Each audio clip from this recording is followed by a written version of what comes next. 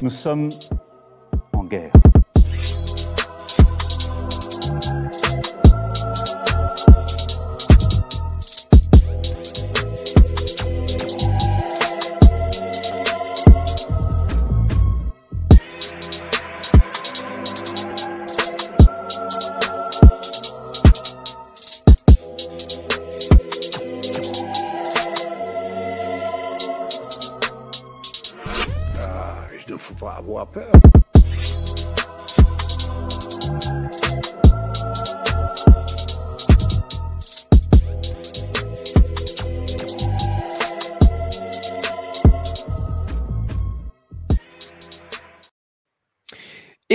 Bonsoir à tous, euh, bienvenue sur Géopolitique Profonde. Ce soir, j'ai le plaisir de faire venir à nouveau et de m'entretenir à nouveau avec un, habitué finalement maintenant de la chaîne pour toujours faire des entretiens passionnants.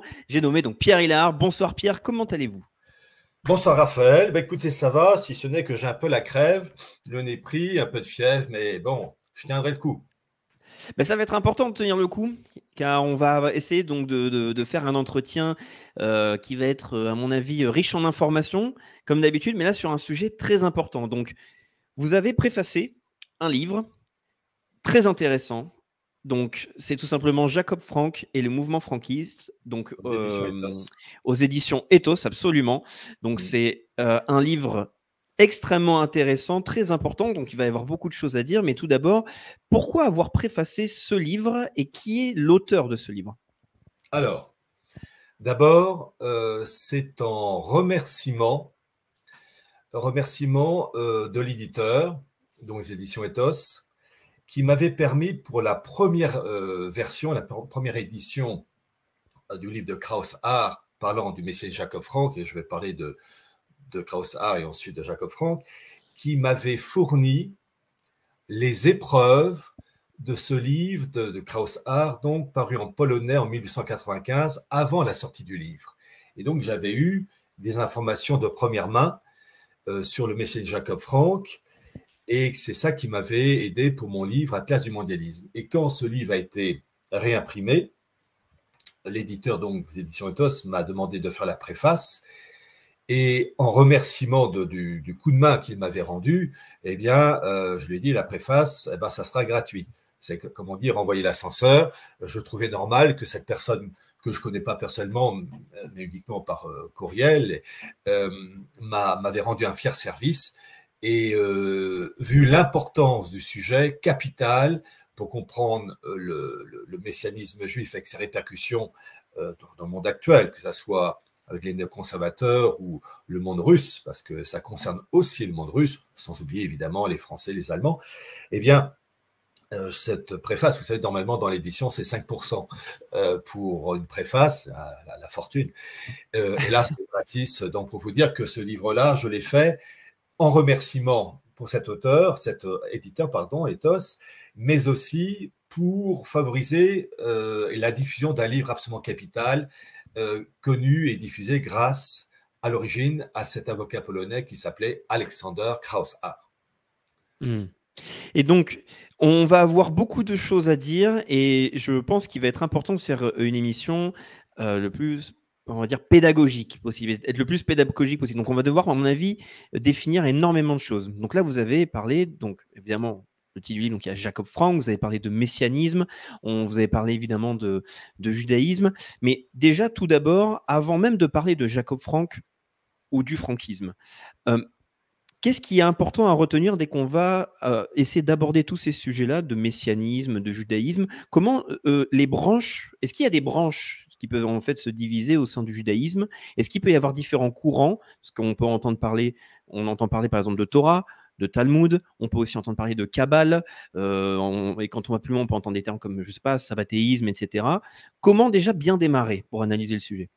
Alors, on va essayer d'être pédagogue. Euh, en fait, quand on parle du judaïsme, il faut d'abord partir de la situation avant le Christ, qui est ce judaïsme qu'on appelle le mosaïsme, hein, en liaison avec donc Moïse, et l'annonce euh, d'un Messie incarné, annoncé par les différents prophètes, Jérémie, Isaïe, Ézéchiel et bien d'autres. Et euh, vous avez toute une série de mesures protectrices pour permettre à ce mosaïsme d'aboutir à l'arrivée de ce Messie, fils de Dieu incarné. Et j'ai bien Messie qui n'a, je, le dis souvent dans les conférences, le mot Messie n'a pas du tout le même sens dans euh, ce qui va donner le christianisme et euh, l'islam, puisque dans le christianisme, le Messie, c'est le Fils de Dieu incarné, vrai homme et vrai Dieu, c'est ce qu'on appelle l'union hypostatique, hypostase, substance, même substance, alors que dans l'islam, le mot Messie, pour définir Jésus, euh, c'est le, donc le même mot, mais pour parler d'un homme, d'un prophète dans l'islam qui est respecté, mais qui est uniquement un homme et en aucun cas le Fils d'Allah incarné.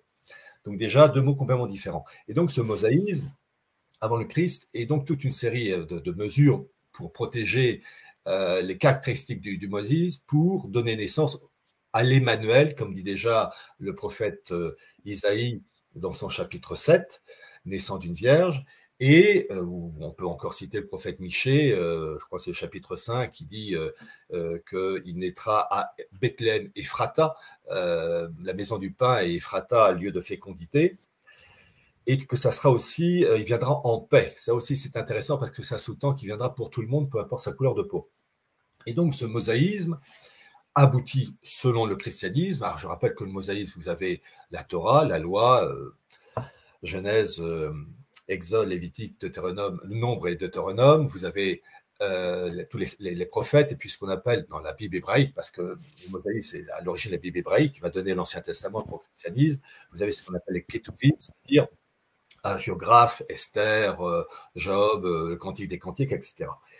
Et selon le christianisme, l'arrivée du Christ parachève toutes les annonces prophétiques euh, des différents prophètes, ou encore du, psaume 22, de, le psaume de David, euh, et ce mosaïsme est terminé, clos. Ce qui fait que le Christ, vraiment, je ne fais que donner une définition, un mode d'emploi purement basique. Hein, euh, je serais athée, je dirais la même Bien chose. Sûr. Et là, là, il faut faire le plus simple possible, parce qu'on va avoir beaucoup à dire, mais c'est vraiment pour avoir les bases. Hein. Le, socle. Et ce Christ, ah, qui avait trois ans euh, de, vie publique, euh, va mourir sur une croix, d'abord souffrir, mourir sur une croix et être ressuscité. Et vous avez le lancement de l'Église, qui est le nouvel Israël. Et ce, ce, christianisme parachève le mosaïsme qui n'a plus lieu d'être, ce qui fait que l'expression judéo-chrétienne, cette expression doit être bannie, parce que ce judaïsme, surtout une mosaïque, est clos, définitivement clos depuis euh, le Christ mort et ressuscité. Et donc il faut, je vous dis bien, euh, supprimer cette expression, la rejeter, ne pas utiliser l'expression judéo-christianisme.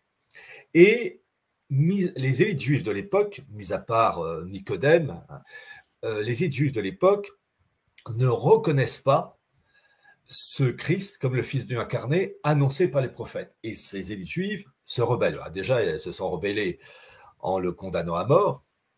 Et euh, le comportement de l'Église, d'ailleurs, à ce sujet, je ne fais que rapporter, parce qu'il faut que je fasse gaffe, parce que dire que le feu brûle, déjà, on se fait mal voir. Oui, bien sûr. Euh, je ne fais que rapporter l'enseignement de l'Église depuis cette époque, jusqu'à Vatican II en tout cas, était de dire que le peuple juif est déicide, et, euh, donc n'ayant pas reconnu la divinité du Christ. Et cette, la, direction rabbinique de l'époque, se révoltant, va construire, élaborer, j'allais dire, un, autre code religieux qui est le Talmud, qui est le code civil, politique et religieux de la synagogue, refusant de reconnaître le Christ comme le Fils de Dieu annoncé euh, au cours du dans l'histoire du mosaïsme.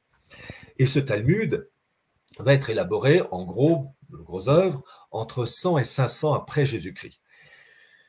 Et euh, donc, je tiens à préciser, il a été élaboré, ce Talmud, en opposition uniquement au christianisme, qui montait en puissance, 313, l'édit de Constantin, etc., et euh, élaboré surtout parce que vous avez de nombreux chrétiens, enfin de nombreux païens, pardon, et de nombreux juifs qui se convertissent au, christianisme, ce qui fait que, par exemple, pour les juifs qui se convertissent au, au, au catholicisme, christianisme, eh bien, la synagogue euh, la direction de la synagogue se rend compte qu'elle est en train de perdre ses ouailles et euh, en fait la, part du marché devient de plus en plus euh, réduite et congrue. Et c'est la création du Talmud et le contre-modèle qui n'a plus rien de chrétien pour contrer cette conversion progressive des Juifs au christianisme et ce code civil, politique et religieux de la synagogue, dite rebelle au christianisme, est donc un contre-modèle. Et c'est si vrai que, il faut lire en particulier les travaux de cet universitaire français qui s'appelle Thierry Murcia, Murcia, euh, M-U-R-C-I-A. Euh, sa thèse que j'ai, enfin, ça a été édité en livre, Jésus dans le Talmud, précise que ce Talmud de Babylone et de Jérusalem euh, condamne euh, ce, Christ euh, qui, s'est présenté comme le Fils de Dieu incarné, et il est condamné, c'est le traité gitain 56b 57a, il est condamné dans des excréments bouillants. Donc pour vous dire que ce nouveau judaïsme, le Talmud, n'a strictement rien à voir avec la, la partie d'avant qui était, elle, annonciatrice. Et outre ce Talmud, il y a deux autres points qu'il faut citer qui est la Kabbale, qui est l'interprétation ésotérique du judaïsme rabbinique, l'évocation des esprits, la Gematria, c'est-à-dire jouer sur la, valeur numérique des lettres pour trouver dans, dans la Bible euh, des, messages secrets, des révélations secrètes. Et ça, c'est formellement euh, opposé au christianisme, évidemment. Et puis le troisième point, ce sont quatre documents qui ont été élaborés au 1er et 2e siècle après Jésus-Christ, qui sont, et ça il faut bien les, cerner, les Targums, le livre des Jubilés, le quatrième livre d'Esdras et l'Apocalypse de Baruch. Ces quatre documents disent quoi?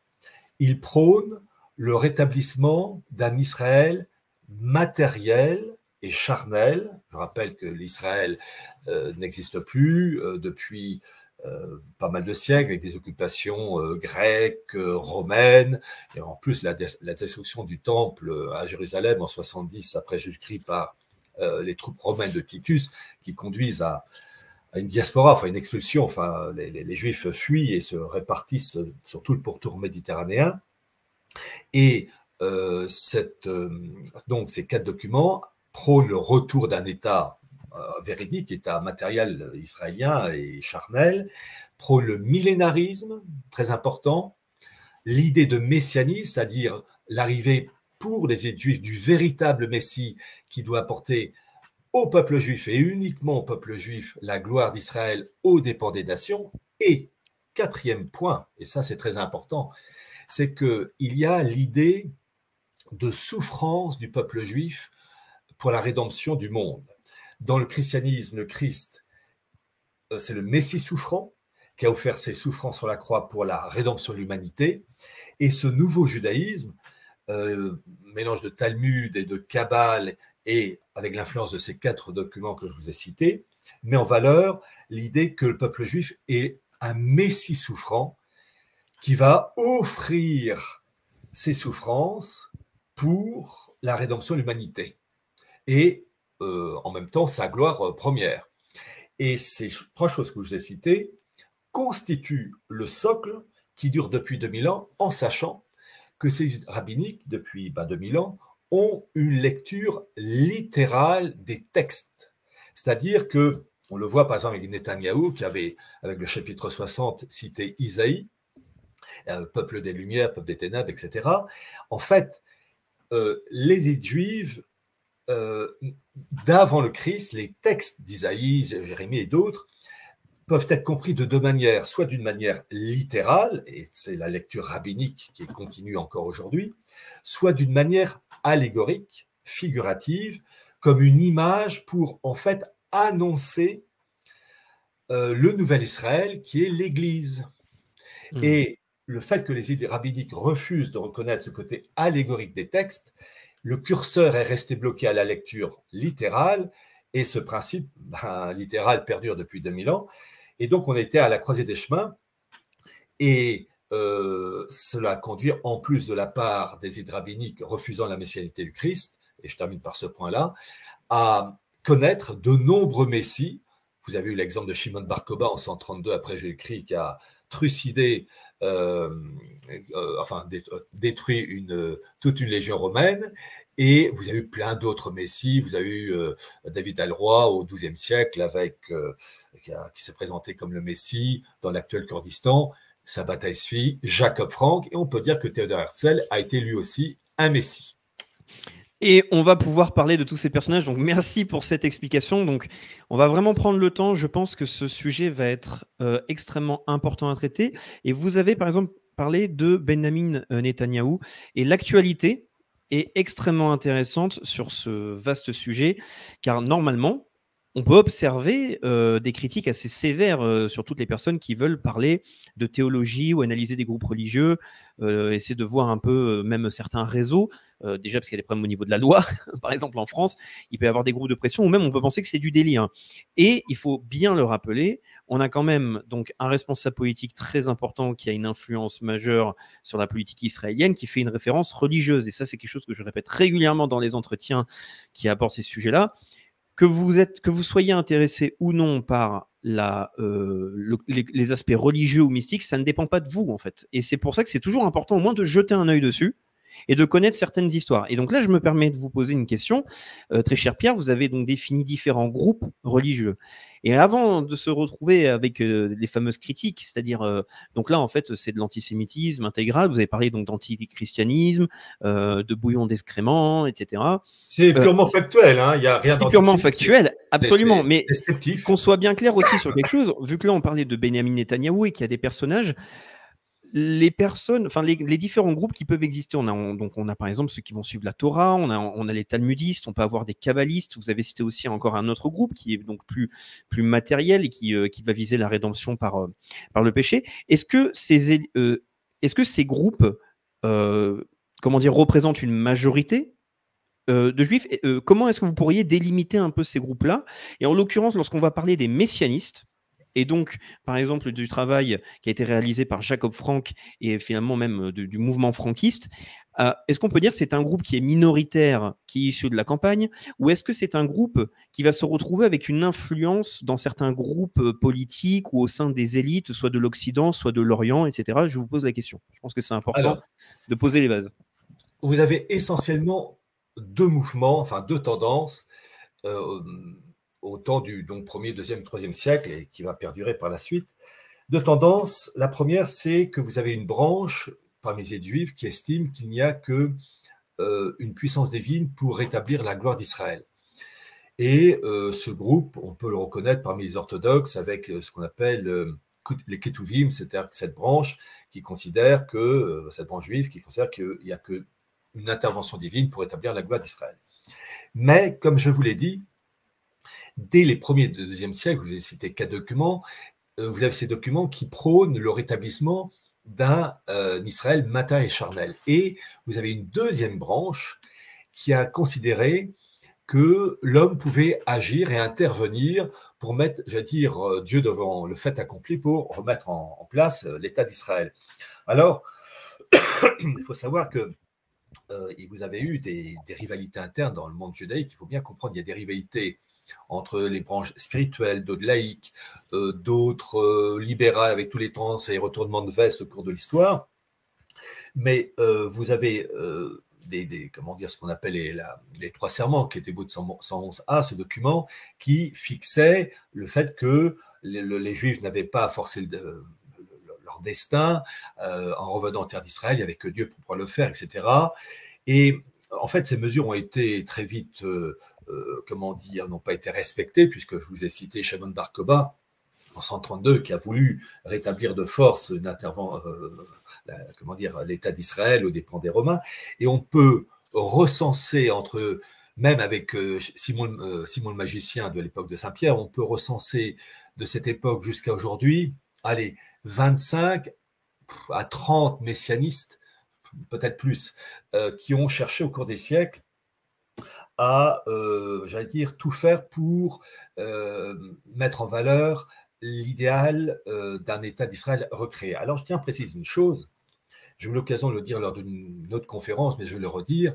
Vous avez eu au XIIIe siècle des juifs comme Narmanide et Aboulafia, ou au XVIe siècle, avec les rabbins Molcho et Revni, à l'époque de l'empereur Charles Quint, qui ont agi pour inciter ces autorités politiques et religieuses, le pape en l'occurrence, à intervenir contre les Ottomans pour établir euh, la gloire d'Israël et un État euh, israélien, bon, pour faire court. Et en fait, on, a, certains ont tendance à dater, enfin dès le XIIIe siècle, ces volontés de recréation d'un État d'Israël. Alors d'abord, je dis que ça c'est faux, comme je vous l'ai dit, les quatre textes que je vous ai cités, Targum, euh, quatrième livre d'Esras, etc., euh, Apocalypse de Baruch et le livre des Jubilés, vous avez déjà, des 1er et 2e siècle, tout fixé pour remettre en place un État d'Israël. Donc, ces personnes des 13e et 16e siècles ne font que reprendre un programme qui a été fixé euh, des siècles et des siècles avant. Ça, c'est la première chose. Mais lorsque vous avez aujourd'hui des, des livres qui traitent de la, recréation, de, ce mouvement messianique, et avec Netanyahu entre autres, euh, vous avez eu le fameux livre de Charles Anderlin euh, au nom du Temple, vous avez eu des ouvrages aussi euh, d'Hervé Rissen, La guerre eschatologique, vous avez eu aussi les ouvrages de Youssef Indy, et aussi les miens, qui soulignent cette, cette influence messianique dans, la, dans, le sionisme, entre autres, parce que ce n'est pas du tout laïque.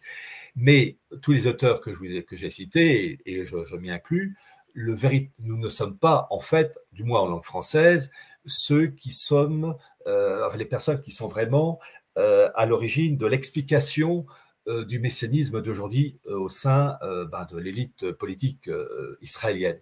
À ma mm. connaissance, le premier ouvrage en langue française à expliquer cette influence messianique au cours des siècles et avec le sionisme comme couronnement qui va aboutir à la création de l'État d'Israël en 1948, c'est un prêtre français qui s'appelait l'abbé Augustin Lehmann, qui en 1901, je viens 1901, a rédigé un ouvrage intitulé L'avenir de Jérusalem, avec un sous-titre, et ça c'est le sous-titre qu'on voit dans les premières éditions que j'ai à titre personnel, Réponse aux congressionnistes.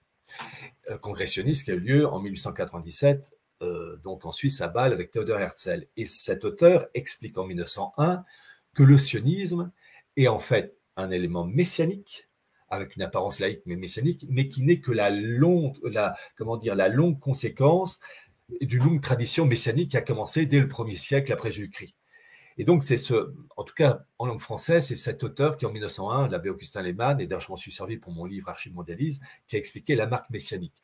Donc, pour vous dire que euh, ce qu'on voit aujourd'hui en Israël avec Netanyahu ou les autres, ce n'est que la conséquence d'un très, très, très long travail euh, qui a marqué la, structure de, des élites juives, et en particulier sionistes, et en particulier, et ça on va en parler, avec le fameux livre de Krauss-Haar sur ce messager Jacob Frank aux éditions Ethos, qui a fait un travail extraordinaire et qui permet, ce travail permet la compréhension, pas uniquement d'Israël aujourd'hui, mais aussi de la politique des néoconservateurs en lien avec les élites russes.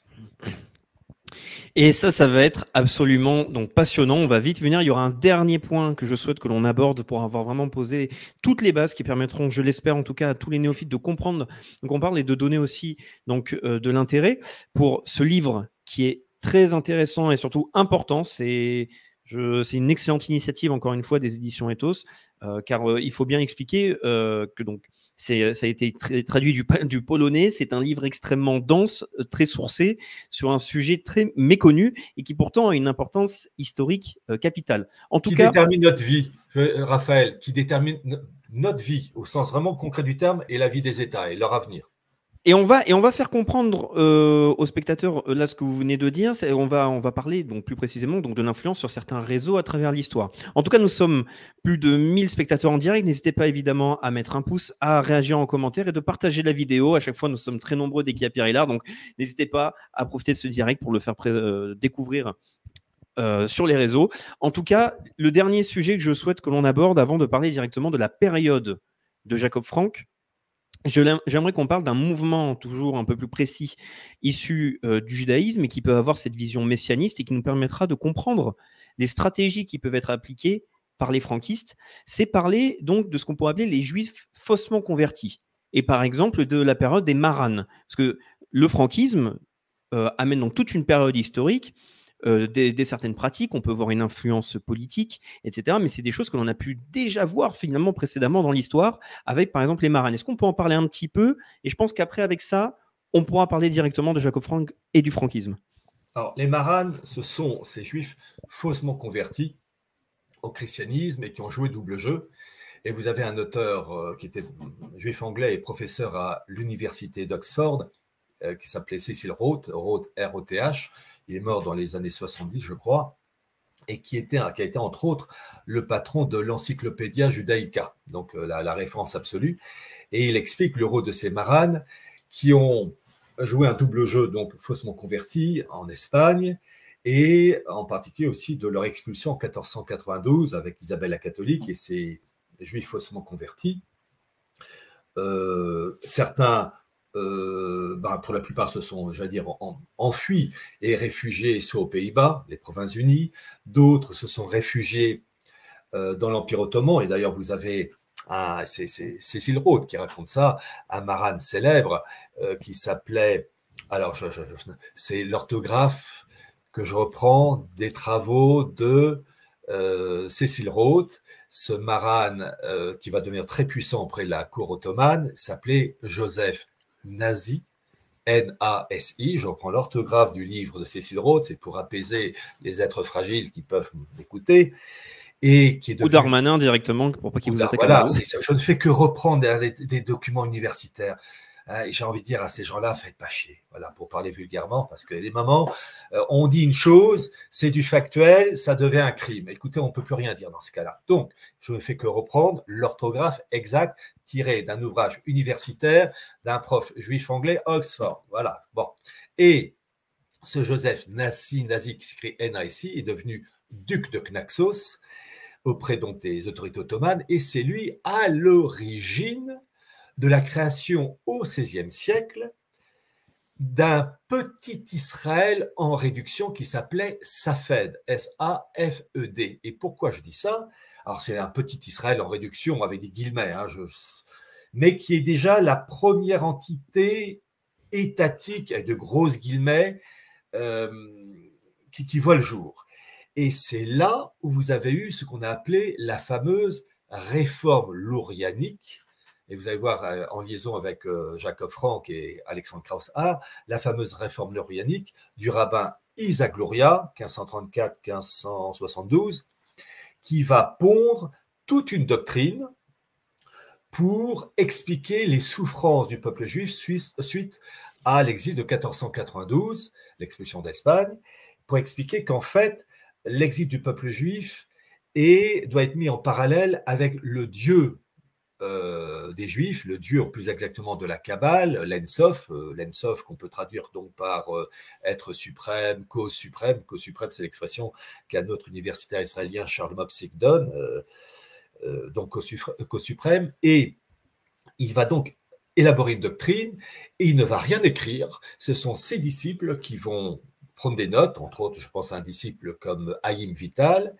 Et pourquoi je dis ça? Parce que cette réforme lorianique, impulsée donc par le rabbin Isaac Loria, va jouer un rôle capital pour influencer un messianiste juif au XVIIe siècle qui s'appelait euh, Sabbatai 1626-1678, et un autre messianiste le siècle suivant, au XVIIIe, qui est Jacob Frank, 1726-1791, évoqué et merveilleusement bien expliqué par les travaux de cet avocat polonais, Alexandre Krauss-Hart. Voilà. Et qui était donc Sabbatai Zvi avant de parler de Jacob Frank alors, qui était cette personne et, dans quel, était aussi le contexte historique et quelle aurait été son influence à cette personne? Alors, Sabbatai Zvi n'est que le énième maillon de toute une série de messianistes, où je vous ai cité euh, Simon Magicien, euh, Barcoba, Shimon Barcoba, pour information, l'État d'Israël a fait un timbre en l'honneur de Shimon Barcoba, donc la révolte juive en 132 après Jésus-Christ, un timbre qui, je crois, est paru en 1961, donc pour montrer que euh, il est encore célébré par l'État hébreu. Donc vous avez indirectement un État hébreu qui a mis en valeur un messianiste. Shimon Barcoba vient un timbre en 1961. Donc, pour vous dire que Netanyahou, il n'invente rien. Hein. Il ne fait que reprendre euh, une, tradition. Et d'ailleurs, je tiens à préciser une chose. Euh, j'ai écrit un livre, Sionisme et mondialisme. Euh, j'espère que j'en parlerai un jour. je dis ça comme ça au hasard, parce que j'ai eu la chance d'avoir les carnets complets de Herzl. Et en fait, c'est du messianisme pur jus. Bon, tout ça pour dire que, comment il s'appelle Sabbat c'est un, juif, un rabbin qui s'est converti euh, faussement à l'islam et qui a entraîné avec lui des centaines et centaines de disciples euh, convertis faussement à l'islam euh, dans l'Empire ottoman, qu'on appelle les domneks, c'est-à-dire les apostats littéralement. Et euh, Sabat-Esui et ensuite l'autre qui va suivre, Jacob Frank, ont repris la, doctrine lourianique qui consistait finalement à expliquer la, souffrance du peuple juif liée à l'exil du dieu de la Kabbale, l'Ensof, hein, l'être suprême, cause suprême. Et l'Ensof, alors je tiens à préciser une chose, et, euh, parce qu'il faut y aller pas à pas, est composé de dix séphirotes. La séphira, pluriel les séphirotes, qui exaltent les valeurs de ce dieu, la Kabbale, euh, majesté, intelligence, miséricorde, etc. Et chose très intéressante, les neuf premières séphirotes sont masculines pour ce dieu de la Kabbale, et la dixième est féminine. Mmh. Et en fait, c'est l'appel à l'androgynie qui va se répercuter en particulier dans la peinture de Léonard de Vinci. Regardez le, le Saint Jean euh, de Léonard de Vinci est androgyne. Regardez le film de euh, Mel Gibson, La Passion du Christ, le, Satan en question, il est androgyne. Et croyez-moi, euh, la partie d'en face, eux, ils ont pigé hein, le, le, petit clin d'œil. Bon, en tout cas pour le film de Mel Gibson. Et donc, euh, comment dire, ces messianistes comme Sabat-Esui, et ensuite Jacob Frank, donc on va traiter avec le, grâce au livre de Krauss A, ont, si je puis dire, amélioré, je mets des guillemets, la doctrine lourianique, qui parlait donc de la souffrance euh, à réparer, et cette souffrance à réparer de la doctrine lourianique s'appelle le tikkun olam, littéralement la réparation du monde. Euh, aujourd'hui, ça s'appelle en anglais Great Reset bien comprendre, et là, vous voyez, euh, Raphaël, on avance tout doucement, que cette influence messianique, ben, on est en plein dedans avec le Great Reset, et c'est si vrai que dans mon livre des origines du mondialisme, la grande réinitialisation, euh, j'ai évoqué, euh, je crois que c'est la revue Time, où vous aviez sur la couverture la planète Terre avec un échafaudage accolé à la Terre, réparé, et sur la couverture de Time, vous avez Great Reset avec à côté Klaus Schwab pour vous dire comme tout ça c'est lié. Donc ce tikkun olam, réparation du monde, promu par la doctrine lorianique au XVIe euh, siècle, est amélioré, si je puis dire, par euh, Sapataisfi, qui promeut ce qu'on appelle la rédemption par le péché ou le saint péché. C'est-à-dire, c'est euh, faire le mal en vue d'un bien. Mais ça va très loin parce que c'est un mal dans tous les domaines. Et son successeur, Jacob Frank, qui lui se convertira lui faussement au catholicisme, et lui et des centaines et centaines de, disciples, reprend cette même formule de faire un mal accéléré, euh, en gros, forcer Dieu à intervenir euh, en activant tous les mots MAUX possibles pour euh, aboutir à une rédemption, c'est-à-dire passer d'un monde ancien à un monde nouveau grâce à la souffrance et au désordre. Et là, voyez-vous, Raphaël, je vais vous citer cet universitaire euh, israélien, Gershom Scholem, j'ai lu quasiment tous ses livres, lui et bien d'autres, Charles Mopsik, les rabbins Abraham Cohen et bien d'autres. Je vais vous citer euh, un extrait euh, d'un livre de Gershom Scholem, Le messianisme juif, qui, chose très intéressante, dès la première page de son livre, évoque l'opposition farouche entre le nouveau judaïsme, Talmud, Kabbale, etc., et une autre religion, le christianisme. Est-ce que vous pouvez rappeler la période dans laquelle a vécu euh, Gershom Scholem? C'est de quel ah, siècle ah, Gershom Scholem pour contextualiser. à l'origine, Gershom Scholem, c'est un juif allemand euh, qui est né fin 19e siècle, qui a immigré en Palestine en 1922-1923, à l'époque sous mandat britannique. Et je rappelle que le tout premier, c'est à cause de vous que je dis ça, euh, que le premier commissaire de la Palestine sous mandat britannique euh, des années 1920. C'est un juif anglais qui s'appelait euh, Herbert Samuel et qui avait un oncle qui s'appelait Samuel Montagu, qui était l'ami de Theodor Herzl, pour, pour montrer comme, vous savez, il y a une succession, rien ne surgit par, ne surgit par hmm. hasard je vous laisse continuer en tout cas, mais c'était pour rappeler, donc c'est là on parle vraiment de 19e siècle, c'est pour comme il y a plein de noms. Oui, oui, c'est vrai, euh, vous avez raison. Hein. Puis, euh, je, cause trop, il faut m'arrêter. Alors, mais là, je veux faire une citation de euh, Gershom Scholem, en fait, qui reprend cet idéal, euh, idéal, je mets toujours des guillemets, de, de rédemption par le péché, faire un mal en vue d'un bien, pour activer l'arrivée du Messie. Et rappelez-vous ce que je vous ai dit de la rédemption, euh, en particulier les tout premiers textes, euh, Targum et euh, Livre des Jubilés, etc., tout ce qui est le peuple juif souffrant. Bon. Alors là, je vais citer donc les ambitions messianiques vues par l'universitaire Gershom Scholem, qui dit ceci, je le cite. Dans tous ces textes, dans toutes ces traditions, l'annonce de cataclysmes sans lesquels les apocalypses ne peuvent se concevoir est décrite en images fulgurantes qui revêtent toutes sortes de formes. Écoutez bien, guerre mondiale, révolution, épidémie, famine, catastrophe économique, mais aussi apostasie, profanation du nom de Dieu, oubli de la Torah, la loi, et rejet de tout ordre moral allant jusqu'au renversement des lois de la nature. Le messianisme, en effet, a toujours eu pour objet le rétablissement de l'existence nationale, sans Israël, pourquoi d'ailleurs le, sionisme est messianique sur le fond, bien qu'il mène également au-delà de celle-ci. Sous-entendu, la gouvernance mondiale est dans les carnets complets de Herzl, je vais terminer la, citation dans 30 secondes, mais dans les carnets complets de Herzl, à un moment donné, donc dans mon livre Sionisme et mondialisme aux éditions. Euh, euh, ah, ça viendra après. Euh, dans ce livre Sionisme et mondialisme, il est précisé euh, que Herzl, s'adressant à un de ses collaborateurs, dit que euh, le rétablissement de l'État d'Israël n'empêche pas la création d'une humanité unie, mais avec obligation de détruire le patriotisme dans tous les États. Je termine la citation de Gershom Scholem. Le messianisme juif est dans son origine et dans sa nature, on ne saurait jamais y insister, l'attente de cataclysmes historiques il annonce des révolutions, des catastrophes qui doivent se produire lors du passage du temps de l'histoire présente au temps futur messianique. Ces cataclysmes et ces visions funestes prennent un tour nouveau et propre dans les visions de la venue du Messie.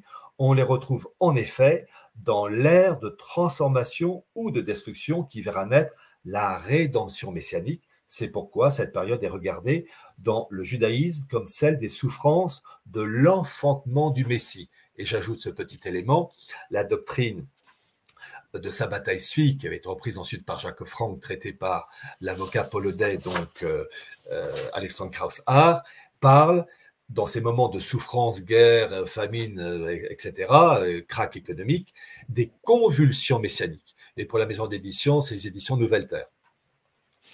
Eh ben, merci Pierre pour toutes ces explications. Donc, je tiens à faire un rappel. Donc là, maintenant, on va pouvoir parler directement du sujet. Je pense qu'on a euh, mis euh, de bonnes bases. En tout cas, on est plus de 1250. Évidemment, n'hésitez pas à mettre un pouce, à partager la vidéo. Merci à tous d'être euh, présents et aussi nombreux. Je le rappelle encore une fois, parce que je l'ai vu en commentaire. Donc, je montre bien l'ouvrage. Donc, Jacob Frank et le mouvement franquiste aux éditions Ethos.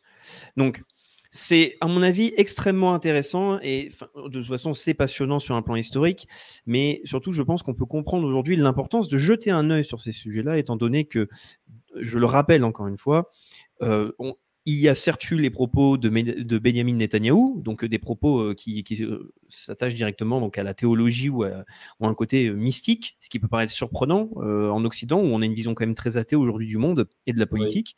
Mais on a aussi eu des, des, des, commentaires, des commentateurs. On a Dominique de Villepin, on a eu d'autres personnes qui ont osé utiliser le terme messianisme et expliquer qu'en tout cas, il y a des projets, qu'il y a des groupes, des réseaux qui ont une vision messianiste. Et donc, c'est important de savoir ce que cela veut dire.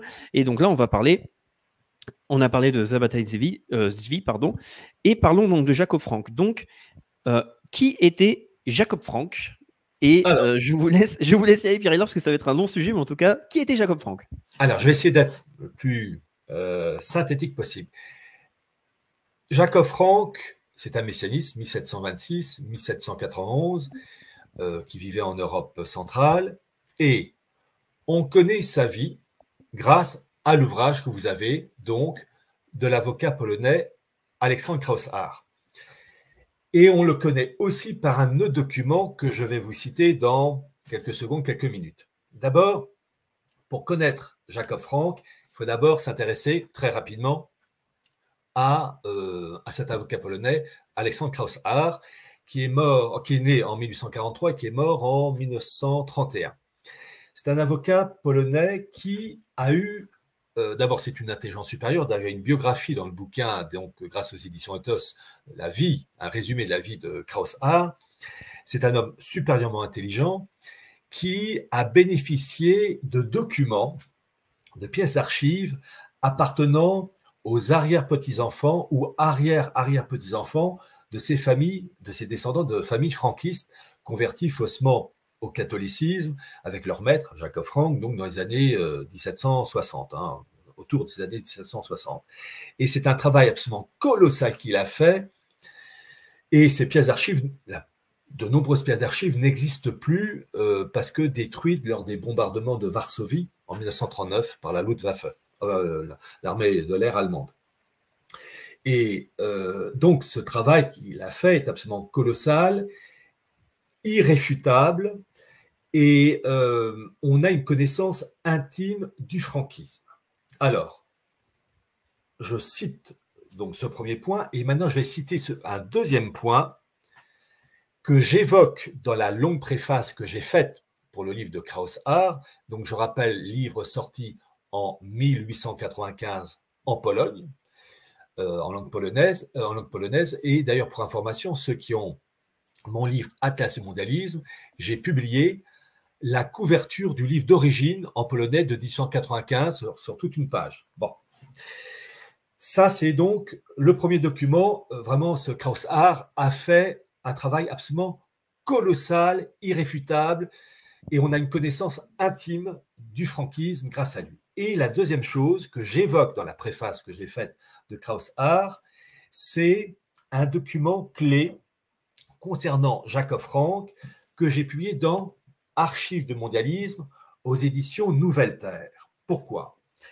Parce que vous avez une équipe d'universitaires juifs américains qui été dirigée par un universitaire qui s'appelait Ben Zion Warolder, qui a publié en 1982 dans une revue universitaire La doctrine franquiste, écrite en 1767 par Jacob Frank, et ils ont retrouvé les originaux, et ces originaux, en hébreu, ils sont là.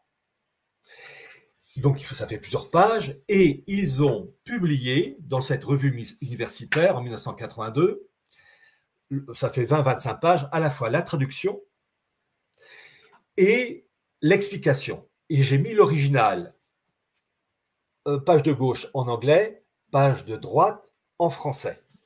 Et donc, je dis toujours que la doctrine euh, franquiste est au messianisme donc juif. Ça, du côté de Pierre. Donc le temps que ça se reconnecte. Vous me dites quand je peux reprendre. C'est bon, vous pouvez y aller. Et donc, cette doctrine euh, franquiste absolument capitale, car on connaît parfaitement, grâce au texte d'origine, à sa doctrine régie en 1767, euh, l'idéal franquiste. Et je dis toujours que ces écrits franquistes sont au franquisme que euh, la Bible au christianisme, le Coran l'islam, Mein Kampf au, euh, au nazisme, etc. Et je vais vous citer les quatre points résumés par l'équipe universitaire de Cincinnati en 1982 sur Jacob Frank, et ensuite je reviens au livre d'Alexandre Crossard. Je suis un peu obligé de jongler. Je cite donc ces quatre points qui résument la pensée franquiste développée ensuite par Alexandre Krauss-Haar. Je rappelle donc doctrine rédigée en 1767. Il y a quatre points. Premier point, Jacob Frank prédit le massacre imminent des Juifs au sein de toutes les grandes et petites nations d'Europe dans le cadre de l'Apocalypse. Et c'est là on peut se dire que le nazisme a joué un petit rôle. Un petit rôle avec des guillemets. Deuxième point, le salut des Juifs dépend de leur acceptation de la foi d'Édom, c'est-à-dire Rome, d'où cette fausse conversion au catholicisme pour le détruire à l'intérieur. Troisième point, Jacob Frank est la réincarnation du patriarche Jacob. Jacob qui va donner naissance, vous savez, à ces douze tribus d'Israël, dont la fameuse tribu de Juda, au sein de laquelle se trouve euh, la lignée messianique du roi David. lignée messianique du roi David, la Sainte Vierge est descendante directe du roi David, c'est une princesse royale. Et le Christ est à la fois homme et Dieu, si on est croyant, je ne fais que reprendre le, je dire, mode d'emploi, et dans sa partie humaine, descendant direct du roi David. Et le quatrième point de Jacob Frank, euh, ce dernier dirigera la rédemption d'Israël en soumettant le monde, y compris l'Église catholique. Donc, cette doctrine dans Archimondialisme d'édition Nouvelle Terre. Et donc, quand vous avez ces deux choses, vous comprenez euh, les points suivants, qu'il y a de la part de ces élites messianiques au cours des siècles et renforcées par sa et encore plus avec Jacob Frank, une volonté de, faire un mal le plus, le plus grand dans tous les domaines. Et cela, ça va se, répercuter très loin, puisque vous avez le petit cousin de Jacob Frank, qui s'appelait Moses de Brusca, qui va porter différents noms et euh, à la fin va s'appeler Julius Frey, qui va être à l'origine de la création dans les années 1780, avec d'autres personnes, je, je, fais court, des frères asiatiques, mélangeant Kabbale et christianisme. Et son successeur à Moses Obruska, Julius Frey, ça va être euh, Charles de Hesse-Kassel, euh, frère de Guillaume de Hesse-Kassel, la plus grande fortune d'Allemagne au XVIIIe siècle, dont le trésorier s'appelait Mayer Amschel Rothschild. Et pourquoi je dis ça? Parce que euh, le Mayer Amschel Rothschild, et ça, on commence vraiment à voir le merveilleux travail, l'extraordinaire travail d'Alexandre Krauss sur Jacob Frank, ce Amschel Rothschild lié aux frères asiatiques était aussi lié à un certain Simon Maurice von Bettmann, cité par Alexandre krauss Et ce Simon Maurice von Bettmann était à la fois un agent du monde russe, du tsar, et il était en même temps lié à tout un réseau économique, financier et ésotérique, comme Dalberg. Dalberg, qui était un grand représentant euh, du monde germanique et qui était lié aussi à Mayramschel Rothschild. Et donc, grâce aux travaux d'Alexandre Crossart, on voit tous les relais euh, de Jacob Frank et de ses successeurs. Et on comprend mieux ensuite la situation actuelle. Je fais une pause, je vous hmm. laisse parler. Oui, donc euh, là, il y a plein de noms qui ont été euh, donnés. Donc, je, il, y a, il y avait quelques commentaires, quelques questionnements euh, dans, le chat, donc je vais répondre. C'est donc là, on parlait, quelqu'un posait la question de qu'est-ce que vous entendiez par de juifs faussement convertis. il faut expliquer qu'en fait, donc oui, voilà, pour les maranes. Mais c'est-à-dire que dans, dans, l'histoire euh, de, de l'Europe et de l'Occident, on, on, a pu voir euh, des, des périodes avec euh, évidemment des, des, conversions forcées de la part de l'Église donc, et aussi de l'Inquisition. Et donc, il y a des groupes qui se sont. Oui, pardon, pardon, Raphaël, ce que vous dites est juste. Il y a eu des hommes d'Église qui ont malheureusement forcé des Juifs à se convertir, chose stupide et à, et à bannir. En revanche, il faut toujours faire une distinction entre les hommes d'Église et l'Église. Vous avez des hommes d'Église qui ont commis cette grossière erreur, mais les autorités suprêmes de l'Église, les, papes, ont toujours condamné ces conversions forcées en disant que bah, elles étaient nulles. Euh, pour qu'il y ait une véritable conversion, il faut vraiment un élan du cœur et de l'intelligence. Ah ça, ça c'est un, ajout important en plus, surtout quand on voit les attaques actuelles sur l'Église elle-même. Donc euh, très bon ajout. Mais en tout cas, ce qui est important à noter, c'est que on a pu observer donc euh, dans l'histoire des conversions qui ont été forcées et donc de personnes qui se sont retrouvées faussement converties et qui ont continué à pratiquer leur culte en, dans le domaine du privé, mais tout en continuant d'étendre leur réseau euh, politique, économique et certains groupes ont pu avoir une influence considérable. Euh, et les Maranes euh, en font partie. Et c'est intéressant de regarder comment, euh, par exemple, s'est fondée la, City de Londres, l'influence en Hollande ou au Portugal, de différents groupes de, marchands de commerce. C'est ça qui est intéressant, c'est le travail des réseaux. Et là, avec le franquisme, on va être un peu sur le même sujet, c'est-à-dire de l'infiltration. on va voir parmi les disciples de Jacob Frank des personnes qui vont dans ce contexte global où il y a des personnes qui peuvent être donc convertis de manière forcée, mais d'autres peuvent simplement faussement se convertir, infiltrer des réseaux pour diffuser leurs idées. Et ça, je fais encore ce rappel. Pierre, c'est ce que vous avez bien expliqué. Là, on est sur un mouvement qui, est, qui a une vision ésotérique, mystique, et ce sont des personnes qui veulent donc sauver le monde par le péché. C'est, ils ont une vision, ils veulent amener un Messie, et, et on peut le résumer très simplement à faire accélérer l'avenue du Messie en accélérant la fin du monde. Le chaos. Et, un- et le chaos euh, Le chaos. Et pour les personnes qui pourraient dire mais c'est de la théologie, ça ne m'intéresse pas ou c'est du délire, eh ben en fait, justement, je pense que cette émission est pertinente aujourd'hui car on voit des personnalités politiques influentes euh, faire des références religieuses, donc ça montre que c'est pas forcément une question. Et euh, on, à travers l'histoire et même récente, vous avez par exemple, je sais pas, un ancien directeur euh, général de la de la Goldman Sachs, Goldman Sachs qui était donc l'œil de Blankfein, qui avait expliqué par exemple qu'il faisait le travail de Dieu.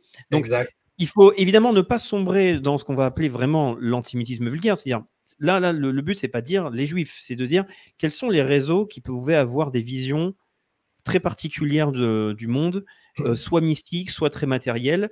Où est-ce qu'ils se situaient historiquement et quelles influences ont-ils eu Et donc, la Pierre, je vais vous relancer avec une nouvelle question. Et donc, allons sur Jacob Frank.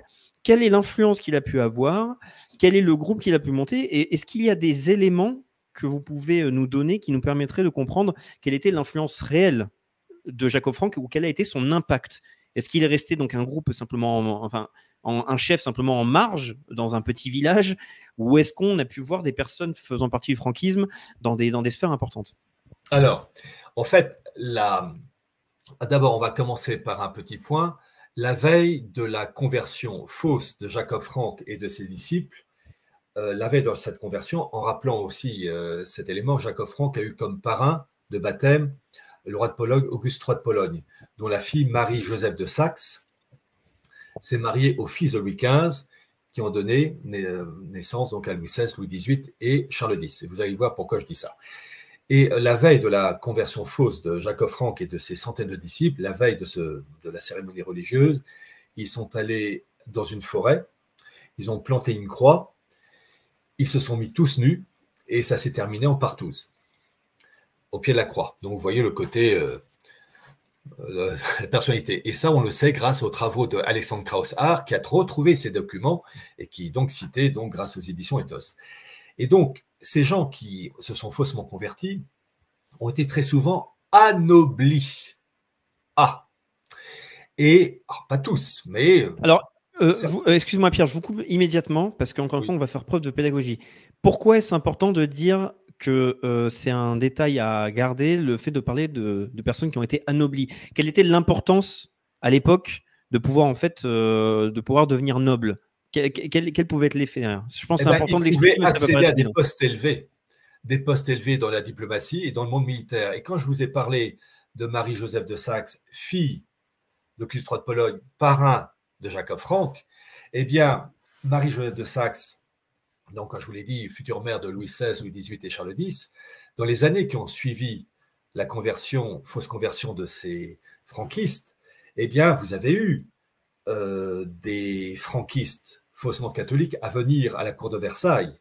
Et il y aurait sûrement une, enfin, il y a une étude à faire sur le rôle des franquistes à la cour de Versailles parce qu'ils ont joué un rôle, il n'y a pas que, mais ils ont joué un rôle dans euh, la révolution de 1789. Euh, je vous donne une petite information, euh, mais enfin petite, mais très lourde en, en révélation.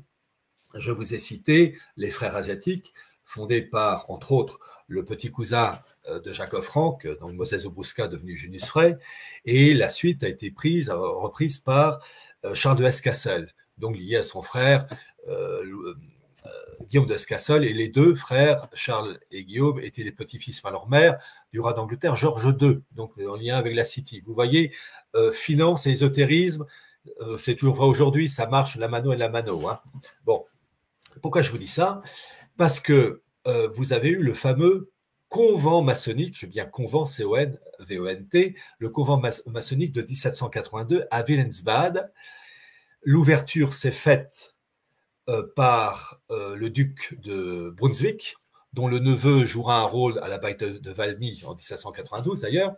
Le duc de Brunswick, donc, qui fait le discours d'ouverture du convent maçonnique de Willensbad, qui était membre des frères asiatiques, et Charles de Escassel, qui fait le discours de clôture des frères asiatiques, enfin de, du convent de Willensbad. Et il y a quelque temps de ça, j'ai mis la main sur les mémoires de Charles de Escassel, qui dit deux choses. mémoire rédigée en français, parce qu'à l'époque, on parlait français, on connaissait la formule, le français en diplomatie, l'italien l'amour et l'allemand aux chevaux. Eh bien, dans les mémoires de Charles Cassel, de Charles S. Cassel, pour ce convent maçonnique de 1782, il dit deux choses. Il dit premièrement, ils avaient, eux, cette branche maçonnique, à lutter contre les illuminés de Bavière qui voulaient s'infiltrer, qui est une autre branche maçonnique, mais encore plus radicale. Et pour information, vous avez eu un travail remarquable d'un universitaire, enfin oui, euh, français, qui s'appelait René Forestier, qui a fait sa thèse en 1914-1915 sur les illuminés de Bavière, parce qu'on a mis, la police bavaroise en 1786 avait mis la main sur ces pièces d'archives, et donc on a grâce à ce René Forestier, aux éditions Archer, hein, euh, des illuminés de Bavière. Donc on a dans les mémoires du patron des frères asiatiques, où il évoque les Illuminés de Bavière, qui est la branche maçonnique encore plus radicale. C'est comme les socialistes et communistes, hein, c'est la même direction, mais mm. euh, là en cours, l'autre, euh, l'autre c'est un petit pas. Et le deuxième point qu'il ajoute dans ses carnets, dans, dans ses mémoires, Charles de Escassel, il précise que lors de ce convent maçonnique de Vennesbad en 1782, qu'il apprend qu'une révolution française est préméditée sept ans avant. Et là, je peux utiliser le mot complot. Le mot complot est malheureusement utilisé à tort et à travers, mais là, il y a eu un complot. Ah, bon. et donc, en fait, ces élites juives faussement converties au catholicisme, qu'on va appeler les franquistes, vont se convertir et occuper des postes clés en Pologne, mais aussi en Autriche, et euh, enfin l'Autriche des Habsbourg. Et vous allez avoir toute une élite germanique au sein de l'Empire des Habsbourg, mais au sein aussi du Saint-Empire romain germanique, euh, au sein de la Prusse, je rappelle, pour vous donner une petite idée, que le banquier personnel du roi de Prusse, Frédéric Guillaume III ou IV, je ne sais plus, euh, s'appelait Daniel Isaac Hitzik, était en même temps membre des frères asiatiques. Donc vous avez une infiltration partout, et cette infiltration, elle est allée aussi en Angleterre, elle est allée aussi aux États-Unis, création coloniale anglaise, et je sais toujours, il n'y a pas que lui, euh, Louis Brandeis, qui était juge à la Cour, suprême des États-Unis à l'époque du président Roosevelt, eh bien, c'était un descendant de franquistes.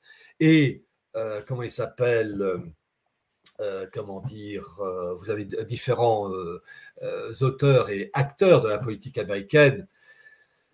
celui qui est mort en 2017, ensuite son nom m'échappe, Pab Brodsky, enfin bref, son nom, son nom me,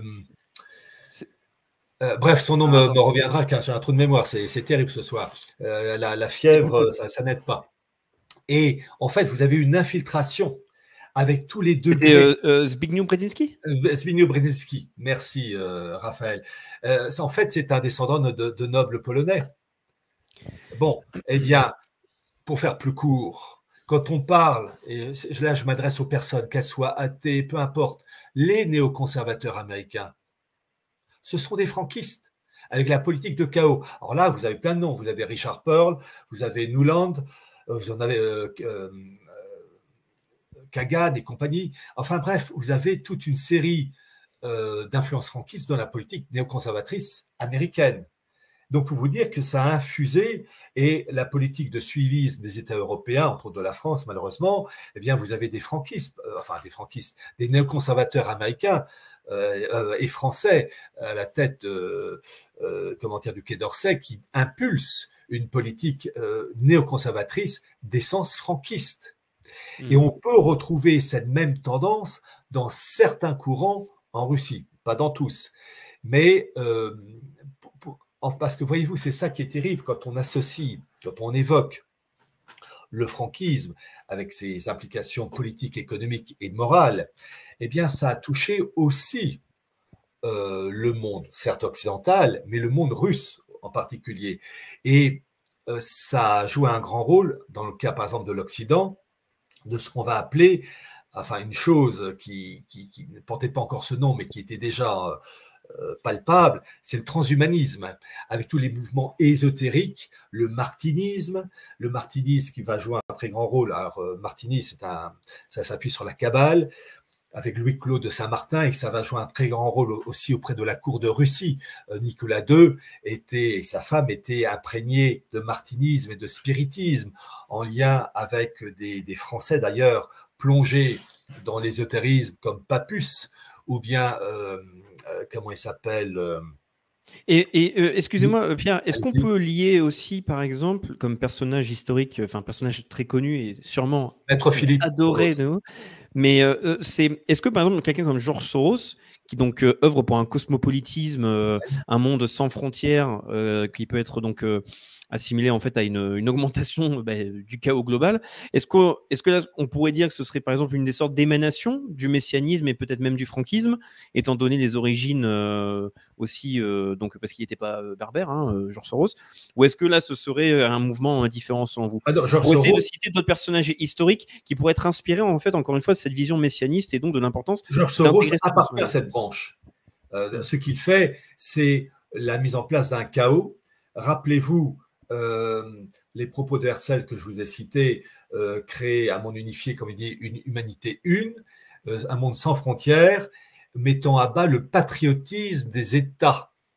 Bah, à Soros, c'est la même, la même politique. Le fait d'affaiblir les États, le fait de favoriser une immigration, qui en fait est déjà annoncé dans le, fameux ouvrage, enfin en deux exemplaires, en deux livres, du révolutionnaire Klotz, Anarchasis Klotz, euh, qui ont été publiés dans le livre euh, La République universelle du genre humain aux éditions Omnia Veritas, dont j'ai fait une longue préface. En fait, euh, cela infiltre tout, infiltre tout. Et je vais citer le martinisme, donc Claude de Saint-Martin, qui touche la famille impériale russe, avec l'influence de Papus et de Maître Philippe. ces gens-là, c'est en lien aussi avec le monde anglais, de tout ce qui est transhumanisme, d'amélioration du corps humain, de spiritisme. Et euh, il y a une chose, alors, j'en parle dans la préface que j'ai faite du livre de Krauss Art, une chose qui est absolument capitale, donc aux éditions Ethos, qu'il faut absolument comprendre, c'est que cette idée de, de franquisme, en fait, qui, n'est qu'un maillon d'une longue tradition, ce messianisme va de pair avec la modification du corps humain qui doit se plonger dans un grand tout. Et évidemment, les techniques aujourd'hui euh, de, comment dire, de robotique, euh, tout ce qui est Android, tout ce qui est euh, neuro-informatique, cybernétique, etc.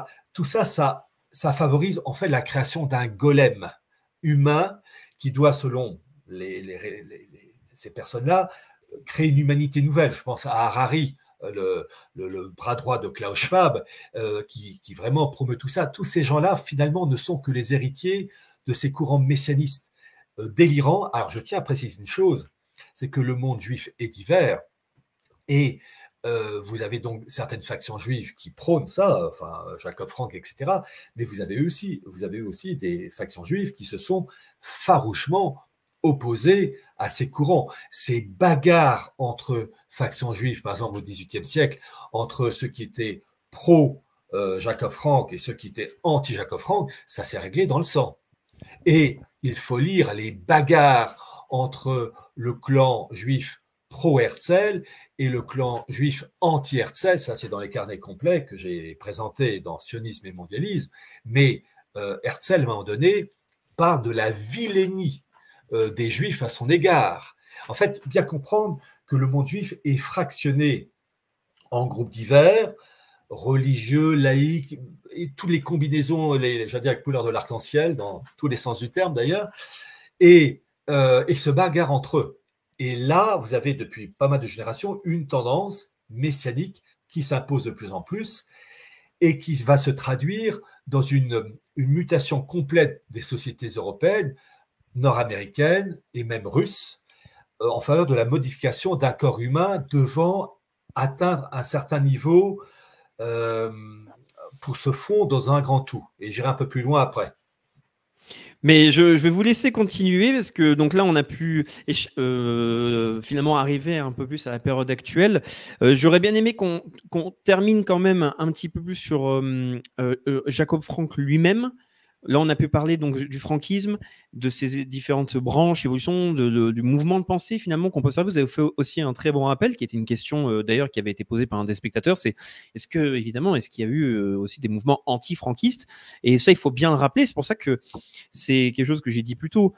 Euh, c'est très important d'étudier tout ça, et c'est pour ça que vos travaux, Pierre, sont, sont, fascinants parce que tout est extrêmement sourcé dans vos livres que vous rédigez, tout est sourcé, etc. Donc là, c'est le travail de quelqu'un d'autre. Vous avez fait la préface, mais il faut rappeler que donc c'est le travail de d'Alexander Krauss-Hart qui est aussi sourcé. C'est pour ne pas sombrer. C'est pour ne pas sombrer justement dans une vision antisémite, antisémite vulgaire, parce que de toute façon, quand vous voyez le conflit israélo-palestinien, vous avez des juifs qui sont ultrasionistes et d'autres qui ne sont pas ultrasionistes et qui refusent d'avoir cette vision-là. Et ça, c'est important. La trois par exemple, c'est la branche juive antisioniste. Hein. Oui, voilà. Et donc, j'aimerais, avant qu'on puisse peut-être parler, euh, parce que vous avez dit quelque chose tout à l'heure euh, d'assez intéressant, par exemple pour la Russie, peut-être qu'on on, fera un, un, petit passage euh, sur ça. Mais obligatoire, croyez-moi. Ben, on va en parler à la fin, donc plutôt pour la conclusion. Mais donc terminons pour Jacob Frank. On a parlé un peu de son parcours, on a parlé de, un petit peu de ses euh, enfants, de, de, ses disciples. Mais quelle était la fin de sa vie euh, à Jacob Frank Parce que on, là, le, titre d'ailleurs qu'on a choisi, c'est le faux Messie qui a infiltré empoisonné l'Occident.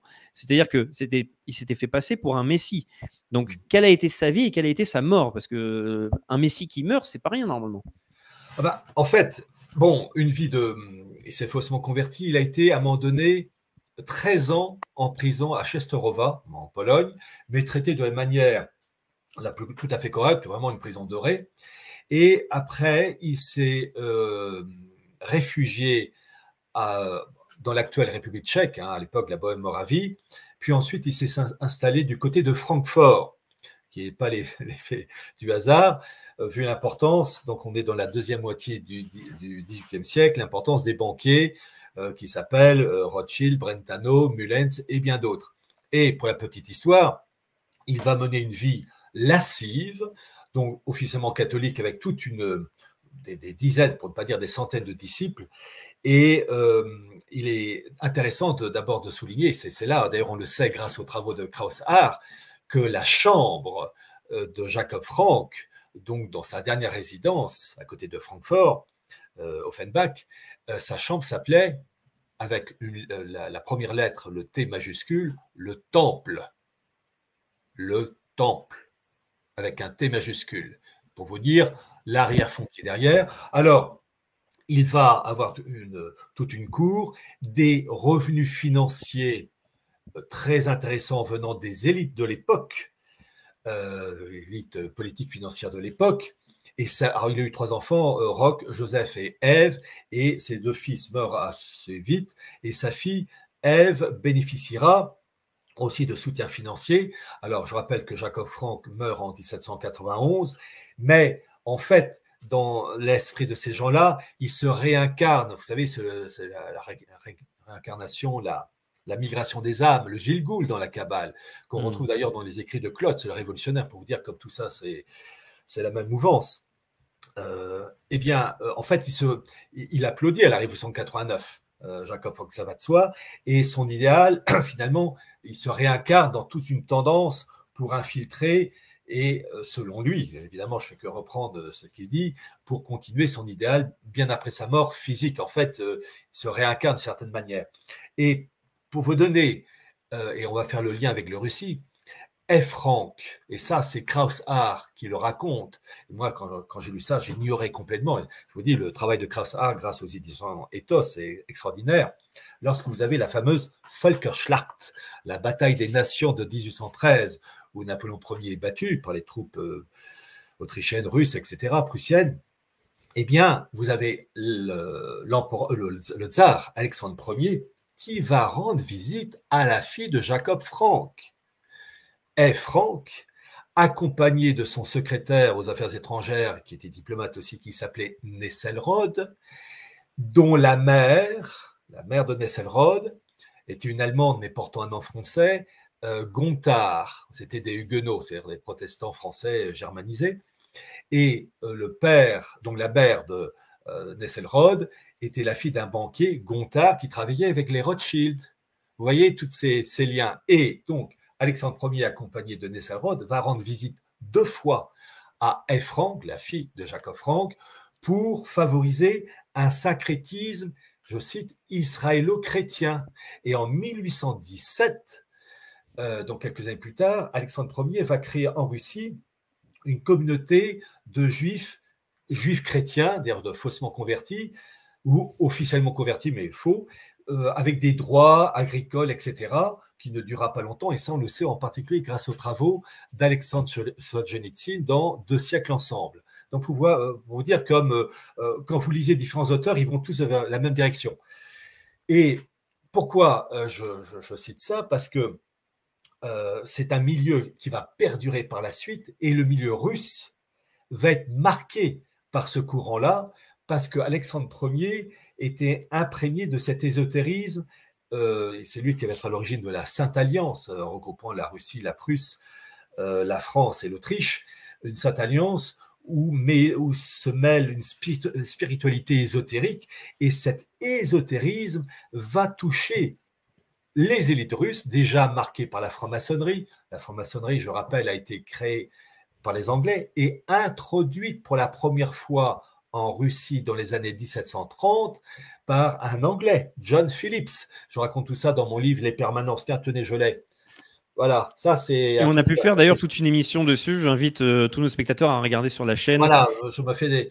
j'ai montré que le monde maçonnique euh, a été introduit en Russie par les Anglais, mais les, Russes ensuite ont coopéré. Et pourquoi je, je, parle de ça? Parce que ce milieu ésotérique a influencé les élites russes au XIXe siècle grâce à Alexandre Ier, lié, vous voyez, à la fille de, Jacob Frank, et qui était pour un idéal judéo-chrétien.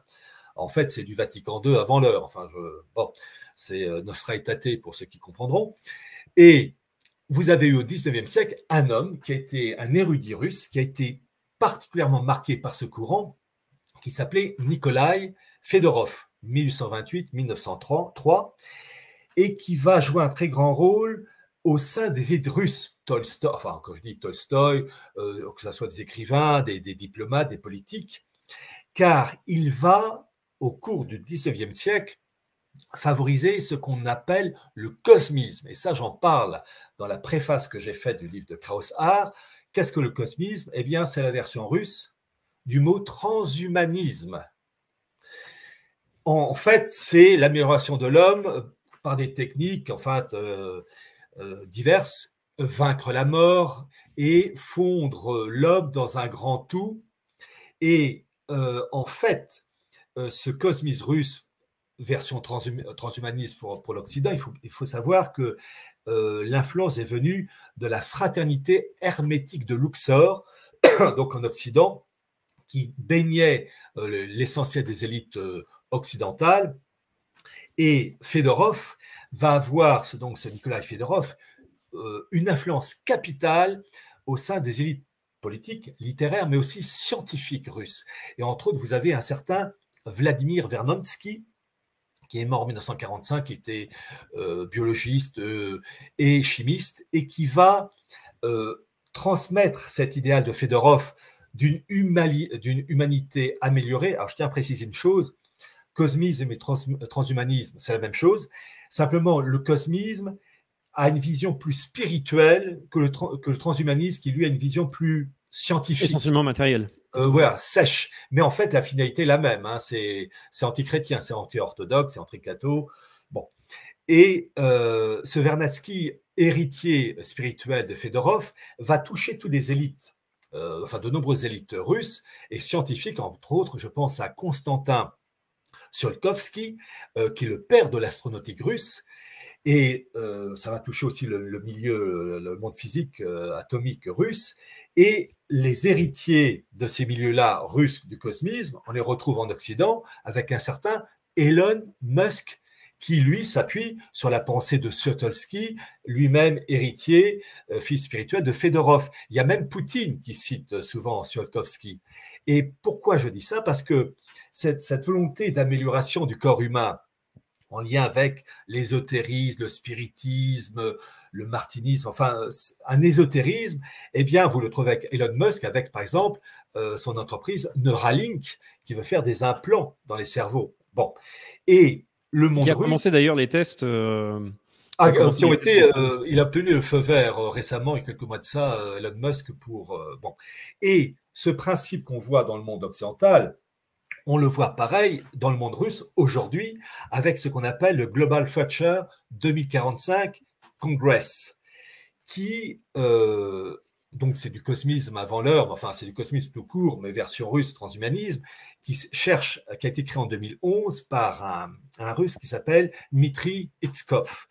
Et il s'agit de créer par étapes une sorte d'avatar en plusieurs années, un, homme-dieu, si je puis dire, pour 2045. Et évidemment, euh, ce, ce mouvement russe, ce Global Future 2045 Congress, travaille avec de nombreux scientifiques russes, mais aussi avec des Occidentaux. Le premier congrès de ce Global Future 2045 a eu lieu en 2012 à l'initiative d'ISCOF et le suivant a eu lieu cette année, juin 2023, à New York. Et là, c'est intéressant de voir que les élites russes euh, propres au cosmisme se sont retrouvées avec leurs collègues transhumanistes américains, avec, je pense, à Ray Kurzweil, avec le japonais euh, Ishiguro. Euh, bon, il y avait des Russes, outre Iskov, vous avez aussi Barkovsky, mais aussi, parce que tout ça, c'est lié à des milieux de, de pensée ésotérique bouddhiste, avec le bouddhiste Rinpoche, vous avez le rabbin Brill, enfin, bon, euh, c'est quand même bien ciblé. Et tous ces, gens-là élaborent un courant euh, en faveur du transhumanisme, en faveur de l'émancipation de l'homme, euh, dans un cadre ésotérique particulièrement malsain. Et on le voit aussi bien dans le monde russe que dans le monde occidental. Et tout ça, ce n'est que le fruit d'une longue tradition messianique qu'on voit chez Jacob Frank, qu'on voit chez Sabbat Aisfi, avec la doctrine morianique. Enfin, tout ça, c'est ancien. Et, Raphaël, dans ce monde russe, on va faire des copains, mais j'y vais quand même. Vous avez un russe qui joue un rôle en faveur euh, de cette tendance-là, c'est Alexandre Douguin, qui alors, dans mon livre Les permanences, j'ai bien spécifié qu'il joue un rôle important. Il je ne vais pas dire qu'il est à la première place, mais il n'est pas à la dernière. Et en particulier, j'ai cité un institut, je ne donne pas son nom, comme ça, ça obligera les, lecteurs à se plonger dans le bouquin. Euh, fait partie d'un institut euh, où vous avez la crème de la crème politique économique et énergétique euh, russe, et je vous ne cite que deux noms, aux côtés de Dugin au sein de ce comité de direction. Vous avez au sein de ce comité de direction Sergei Glatiev, qui fait partie d'un groupe pour la mise en place d'une union eurasienne supranationale. J'ai bien dit supranationale, et ça, c'est euh, Poutine qui a mis en place euh, cette doctrine, enfin ce projet, en 2011 dans un article dans Izvestia que j'ai publié en intégralité en annexe dans mon livre. Et vous avez aussi un certain Nikolaevitch Albin, qui est le vice-président de la banque euh, Gazprom.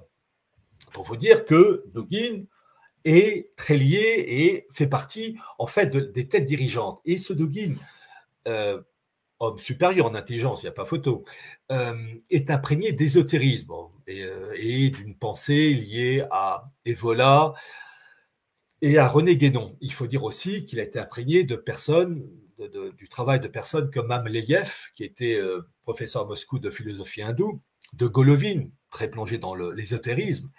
Et vous allez voir pourquoi je parle de Dugin et de la politique de chaos qui est derrière son projet, lié à Jacob Frank. Vous vouliez. Et je ferai un petit commentaire derrière pour faire le. Ah, non pas oui, l'avocat de Dugin, mais c'est pour, pour euh, faire comprendre aux gens qu'en ce moment, il y a un débat sur ce sujet-là.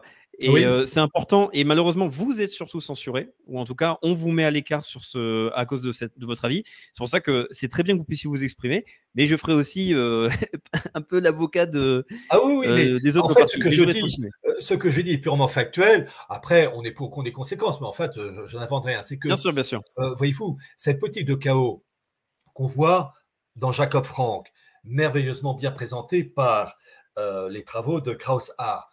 Jacob Frank n'étant que le énième maillon, bon, irrigue la politique occidentale, mais irrigue aussi euh, certains éléments du monde russe. Et Dugin fait partie de cette branche-là. Et euh, l'exemple que je peux citer, j'ai déjà cité qu'en 1996, il avait participé à une cérémonie avec des croix tournantes. Alors, j'ai raconté ça dans mon livre Les Permanences, avec, euh, donc c'est aux éditions Culture et Racines, euh, avec les, photos en couleur, avec des croix tournantes, un truc glauque à mort, où il récitait les œuvres de Aleister Crowley. Aleister Crowley, sataniste pur jus, et je, rappelle que le parti eurasien de euh, a comme emblème euh, l'étoile du chaos, le sigil en huit branches. Et euh, ça n'a toujours pas bougé. En 2023, c'est toujours cet emblème. Excusez-moi, c'est quand même révélateur. emblème du chaos qui est d'ailleurs issu des travaux d'Austin Osman Spare, un anglais première moitié du XXe siècle. Bon. le même Dugin qui en 2017 a participé à une conférence, enfin un débat avec entre autres Blinken, l'actuel secrétaire d'État, enfin ministre des Affaires étrangères du gouvernement Biden, où entre autres, euh, Dugin parle de la Kabbale comme la plus grande réalisation de l'esprit humain.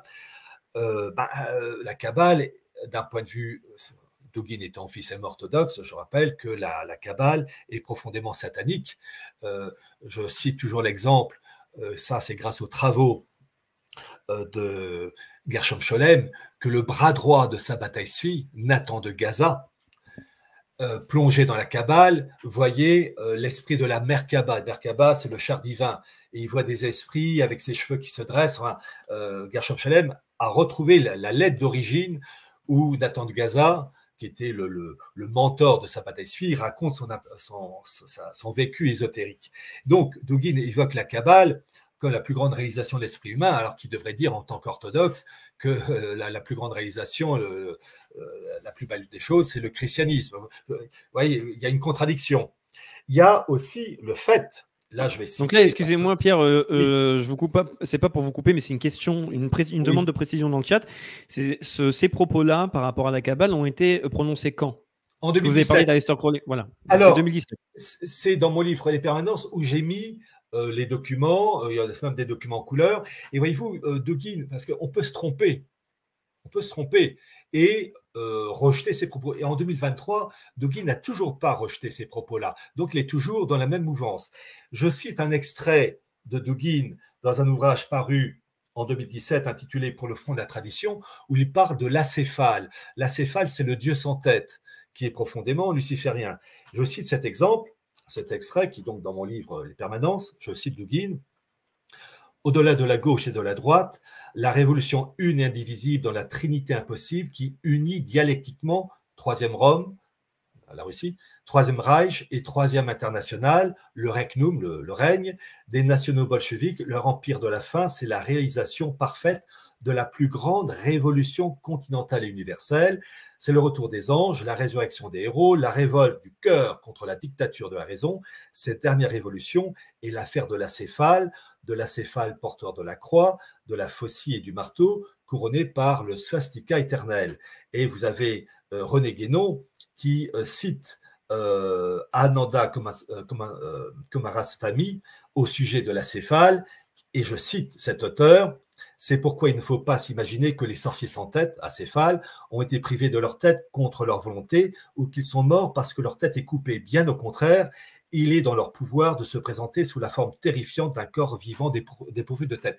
Donc, euh, vous voyez les, références de, de qui sont absolument anti-orthodoxes. Et la dernière information qui est toute fraîche, donc vous allez avoir la primeur, mon cher Raphaël, prenez une gorgée d'eau, vous allez voir, ça va vous gratter la gorge.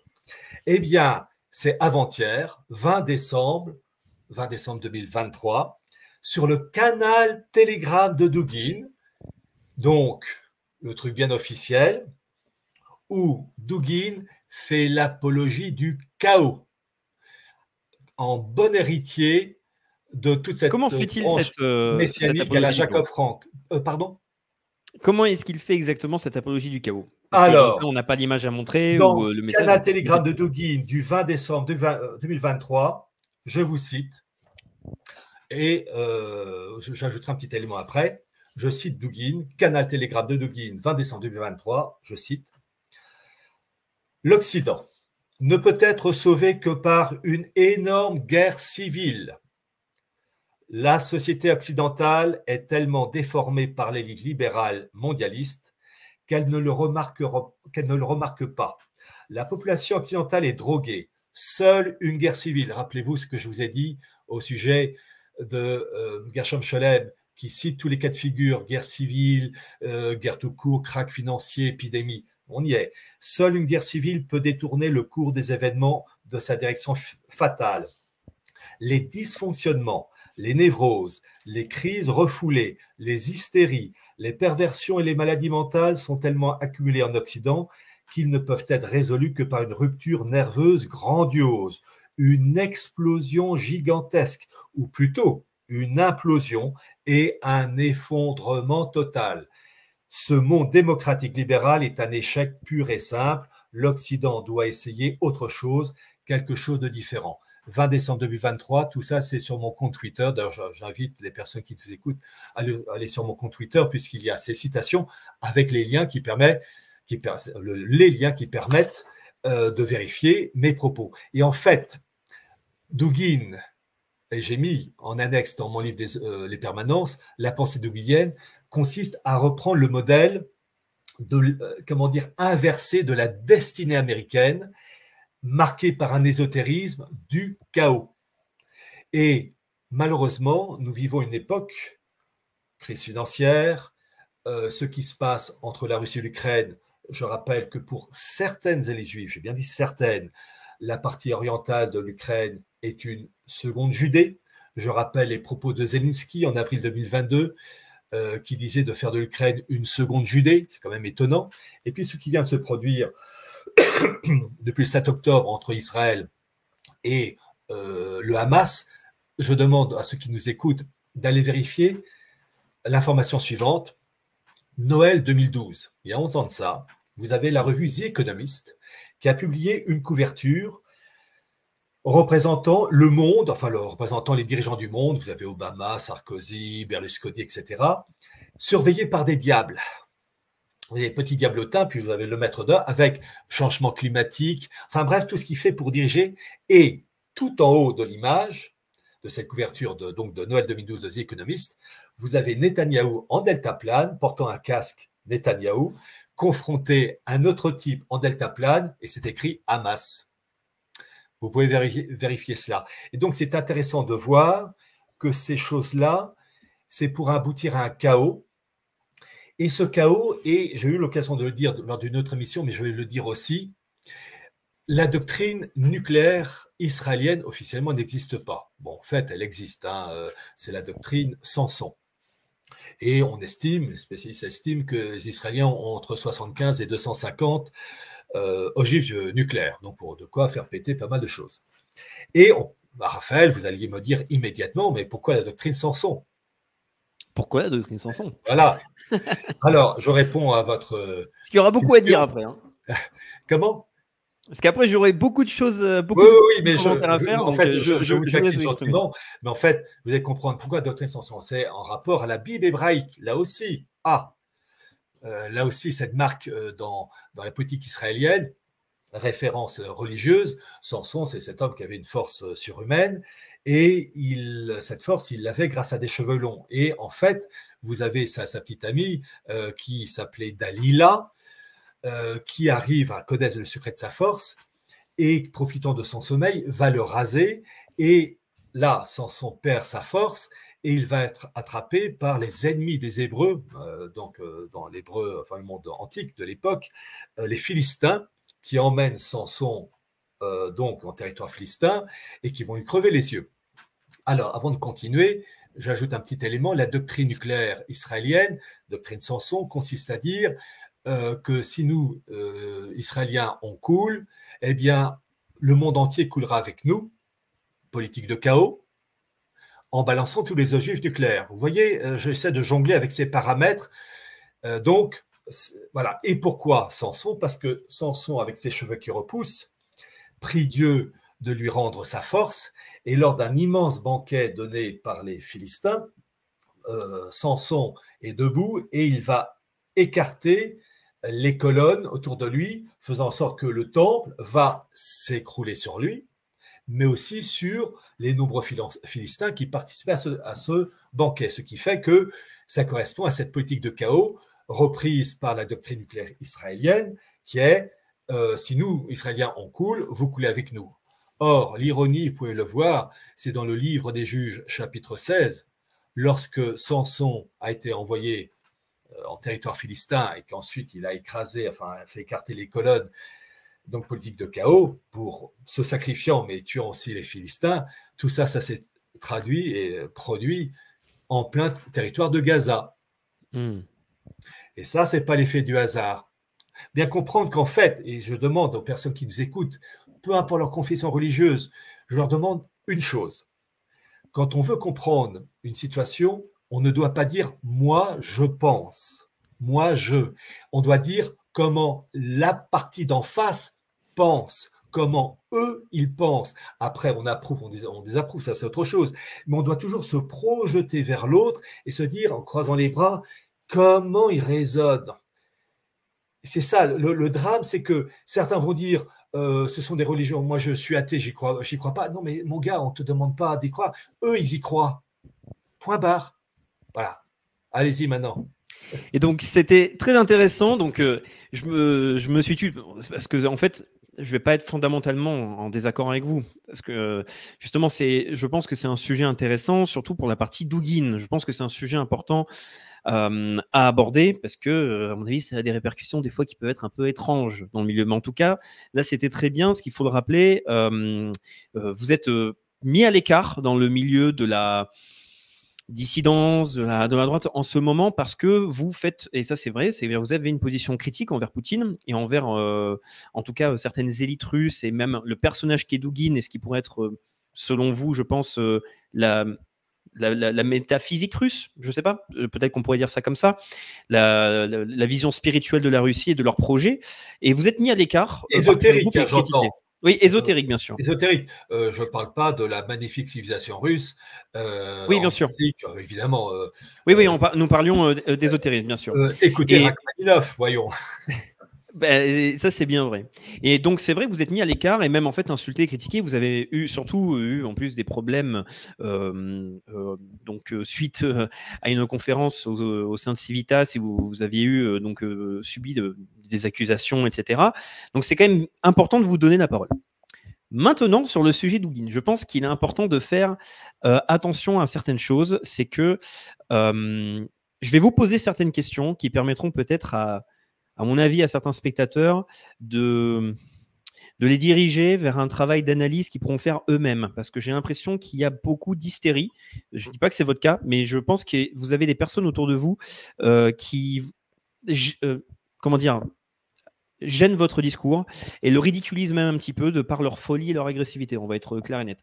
Euh, donc déjà, vous parlez par exemple régulièrement d'Alistair Crowley pour euh, dire que Dugin euh, serait en fait finalement quelqu'un qui admire la Kabbale et qui serait attiré par le satanisme, clairement, parce qu'il il serait même un disciple de Crowley. J'ai simplement dit. Est-ce que c'est bien ce que vous dites? Parce que, oui, excusez-moi, je vais vous permettre de répondre. C'est que là, je vous pose des questions à vous sachant que là, je veux euh, dénoncer un autre groupe qui vous entoure et qui parle en votre nom. Voilà, donc c'est pour ça que je veux savoir ce que vous pensez précisément. Enfin, simplement, euh, en fait, je veux dire une chose, c'est que les personnes qui me critiquent doivent d'abord lire mes livres, entre autres euh, mon bouquin sur la Russie, les permanences sur la géopolitique, enfin, aux éditions donc et Racine, où je montre une permanence, effectivement, peu importe les, dirigeants. Concernant Dugin, j'ai simplement souligné sa, formation. Je fais une étude sur vous, Raphaël. Je vais essayer, de savoir d'abord votre origine sociale et vos lectures et voir à quelle personne ou à quel courant de pensée vous rattachez. Il n'y a rien d'hystérique. Hein. Après, je serai d'accord ou pas d'accord, ça c'est autre chose. Ben là, j'ai fait pareil pour Dugin. Simplement, j'ai constaté qu'il s'était rallié euh, à des personnes comme donc Evola, Guénon, etc. Mais je vais citer les noms de Mamleyev, j'ai cité les noms de Golovin et bien d'autres et que euh, en particulier euh, a lu, euh, c'est Hararita, je crois, le, texte qu'il a lu de, de Crowley, et en fait, il n'a jamais renié ses propos. euh, comprenez, euh, quand je dis lire, on peut lire un truc de, de Crowley. Moi, j'ai lu du Crowley pour connaître le personnage, mais évidemment, je n'adhère sûrement pas à la, vie de Crowley. Elle est,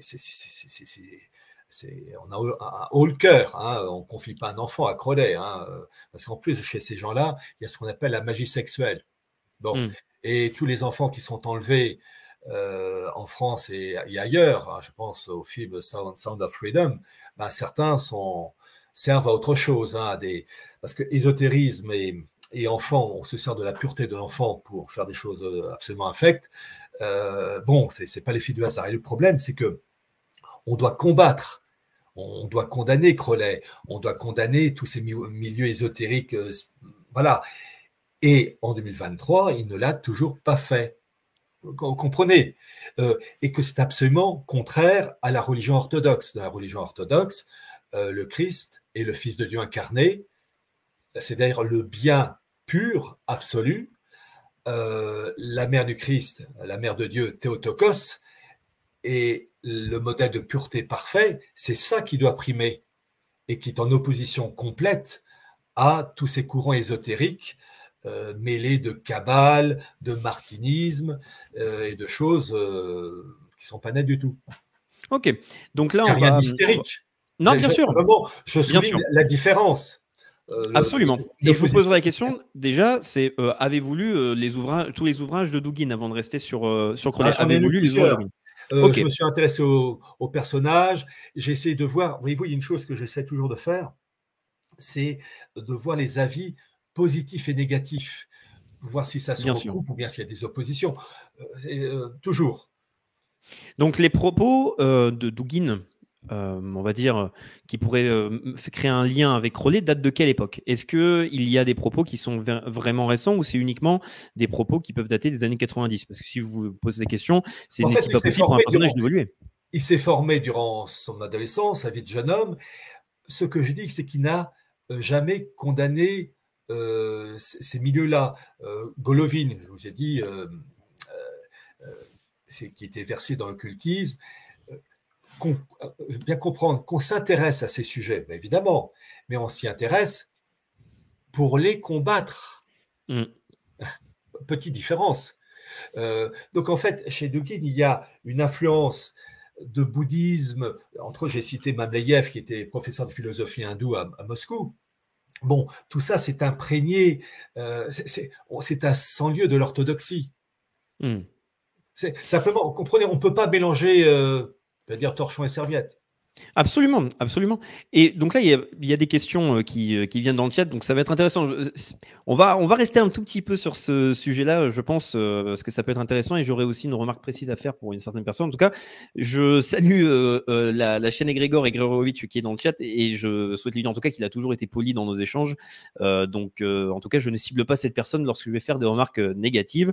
Mais pour le répondre, étant donné qu'il disait aussi qu'une question étrange que je vous pose, de dire en haut, est-ce que vous avez lu Dugin? Parce que c'est comme son disait, est-ce qu'on pourrait, est-ce qu'il faudrait lire tous les livres de BHL pour critiquer BHL Mais En fait, je répondrais oui. C'est-à-dire que, d'ailleurs, pour ces questions, cette question n'est pas étrange. C'est, je conseille à tous les spectateurs, toutes les personnes qui regardent, quand vous voulez parler d'un sujet, que vous voulez condamner une personne intégralement, oui, il faut la connaître cette personne. C'est-à-dire que, par exemple, pour BHL, euh, on critique ses propos, ses interviews. C'est euh, c'est ça. En fait, c'est là, si vous faites une définition complète euh, de l'essence, enfin, si vous analysez ce qui est pour vous l'essence de Dugin, et que certaines personnes peuvent se retrouver à dire que Dugin serait un kabbaliste ou même un sataniste, et il y a même d'autres personnes qui osent dire euh, de manière assez lâche, euh, et je, je salue cette personne qui attire, qui est extrêmement insultante et qui n'ose pas discuter en privé, qui est Monsieur K, de dire par exemple, tout simplement qu'il n'y a rien pour affirmer, mais qu'il n'y a rien pour affirmer que Dugin aurait sacrifié sa fille dans un rituel satanique. Il faut, être quand même un, quelqu'un d'assez. Euh, personnel, je n'ai jamais dit ça. Hein, bien sûr, et, c'est pour ça que je dis que c'est assez dommage pour ce sujet, euh, que, qu'en fait, c'est important de vous laisser la parole et même d'essayer d'échanger calmement sur ça, parce qu'il y, a, il y a des propos en fait qui, peuvent créer énormément de conflits au sein de la dissidence et les gens peuvent perdre du temps. Puis il faut. Allez-y, allez-y. 30 secondes, Raphaël. Euh, sur un sujet délicat, euh, je suis quelqu'un de posé. Je ne fais que, euh, d'abord, me référer à des choses sûres, Deuxièmement, je n'insulte pas. Et simplement, je souligne euh, la différence complète. Dans l'orthodoxie, dans le monde russe, l'orthodoxie, c'est quoi? Donc, le christianisme orthodoxe. Le Christ, c'est le Fils de Dieu incarné, vrai homme et vrai Dieu. C'est-à-dire, c'est la perfection. Et si on est orthodoxe, le reste, c'est l'erreur. C'est-à-dire bouddhisme, hindouisme, euh, euh, ésotérisme, franc-maçonnerie, qui d'ailleurs a été rétabli en 1995 euh, en Russie, et que le, le patron de la franc-maçonnerie anglaise, Michael de Ken, enfin, qui est le cousin d'Elisabeth II, a fêté en 2017 pour le tricentenaire de la fondation de la maçonnerie, avec, a fêté cette renaissance maçonnique, enfin ces trois, trois, siècles, avec le patron de la maçonnerie russe, Bogdanov. Mmh. Voilà. J'ai mis ça en photo d'ailleurs dans mon livre.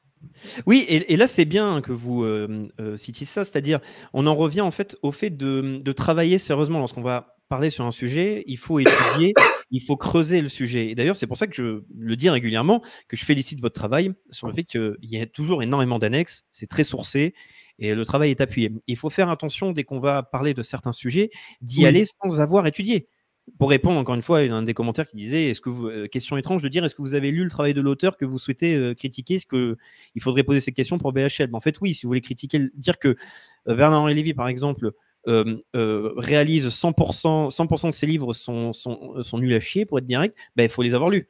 Sinon, c'est en fait, c'est. non, non, mais je, me fais une. Mais, non, mais autant être direct. lire, ça, quand on veut connaître quelqu'un, enfin un auteur, il faut, lire ses livres, etc peut-être pas tout lire, mais enfin, non, bien sûr. lire au moins plusieurs exemplaires. Encore une fois, ce que je veux dire, c'est que les mots sont importants.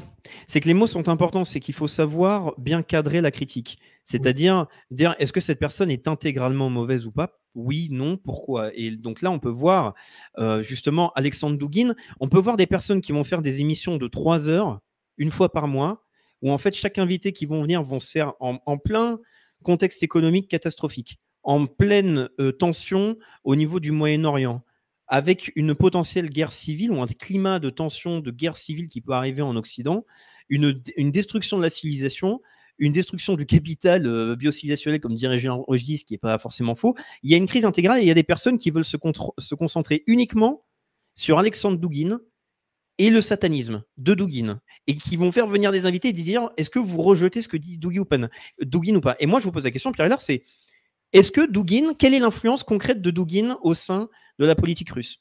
Déjà. Eh ben, et même, deuxième question, quelle serait l'influence de Douguin en Europe et en Occident et pourquoi il faudrait le désigner comme ennemi principal? Alors, euh, d'abord pour la première question, je vous ai dit, je vous ai cité que Douguin, je ne l'ai jamais mis au premier rang comme la personne à la pointe, mais surtout pas le mettre au dernier rang. Il fait partie de toute une élite. Et je vous ai cité le nom de ce comité de rédaction euh, d'un institut très puissant où vous avez un concentré de pointure. Je vous ai cité Sergei Gladiev, qui joue un rôle clé pour la mise en place de l'Union eurasienne supranationale et d'un rouble numérique. Euh, excusez-moi de vous, euh, de, vous couper, Pierre, c'est que je dois dire ça vu que là, il va y avoir des réactions. Je ne suis pas douguiniste, hein. je ne suis pas ah. pro-Douguin.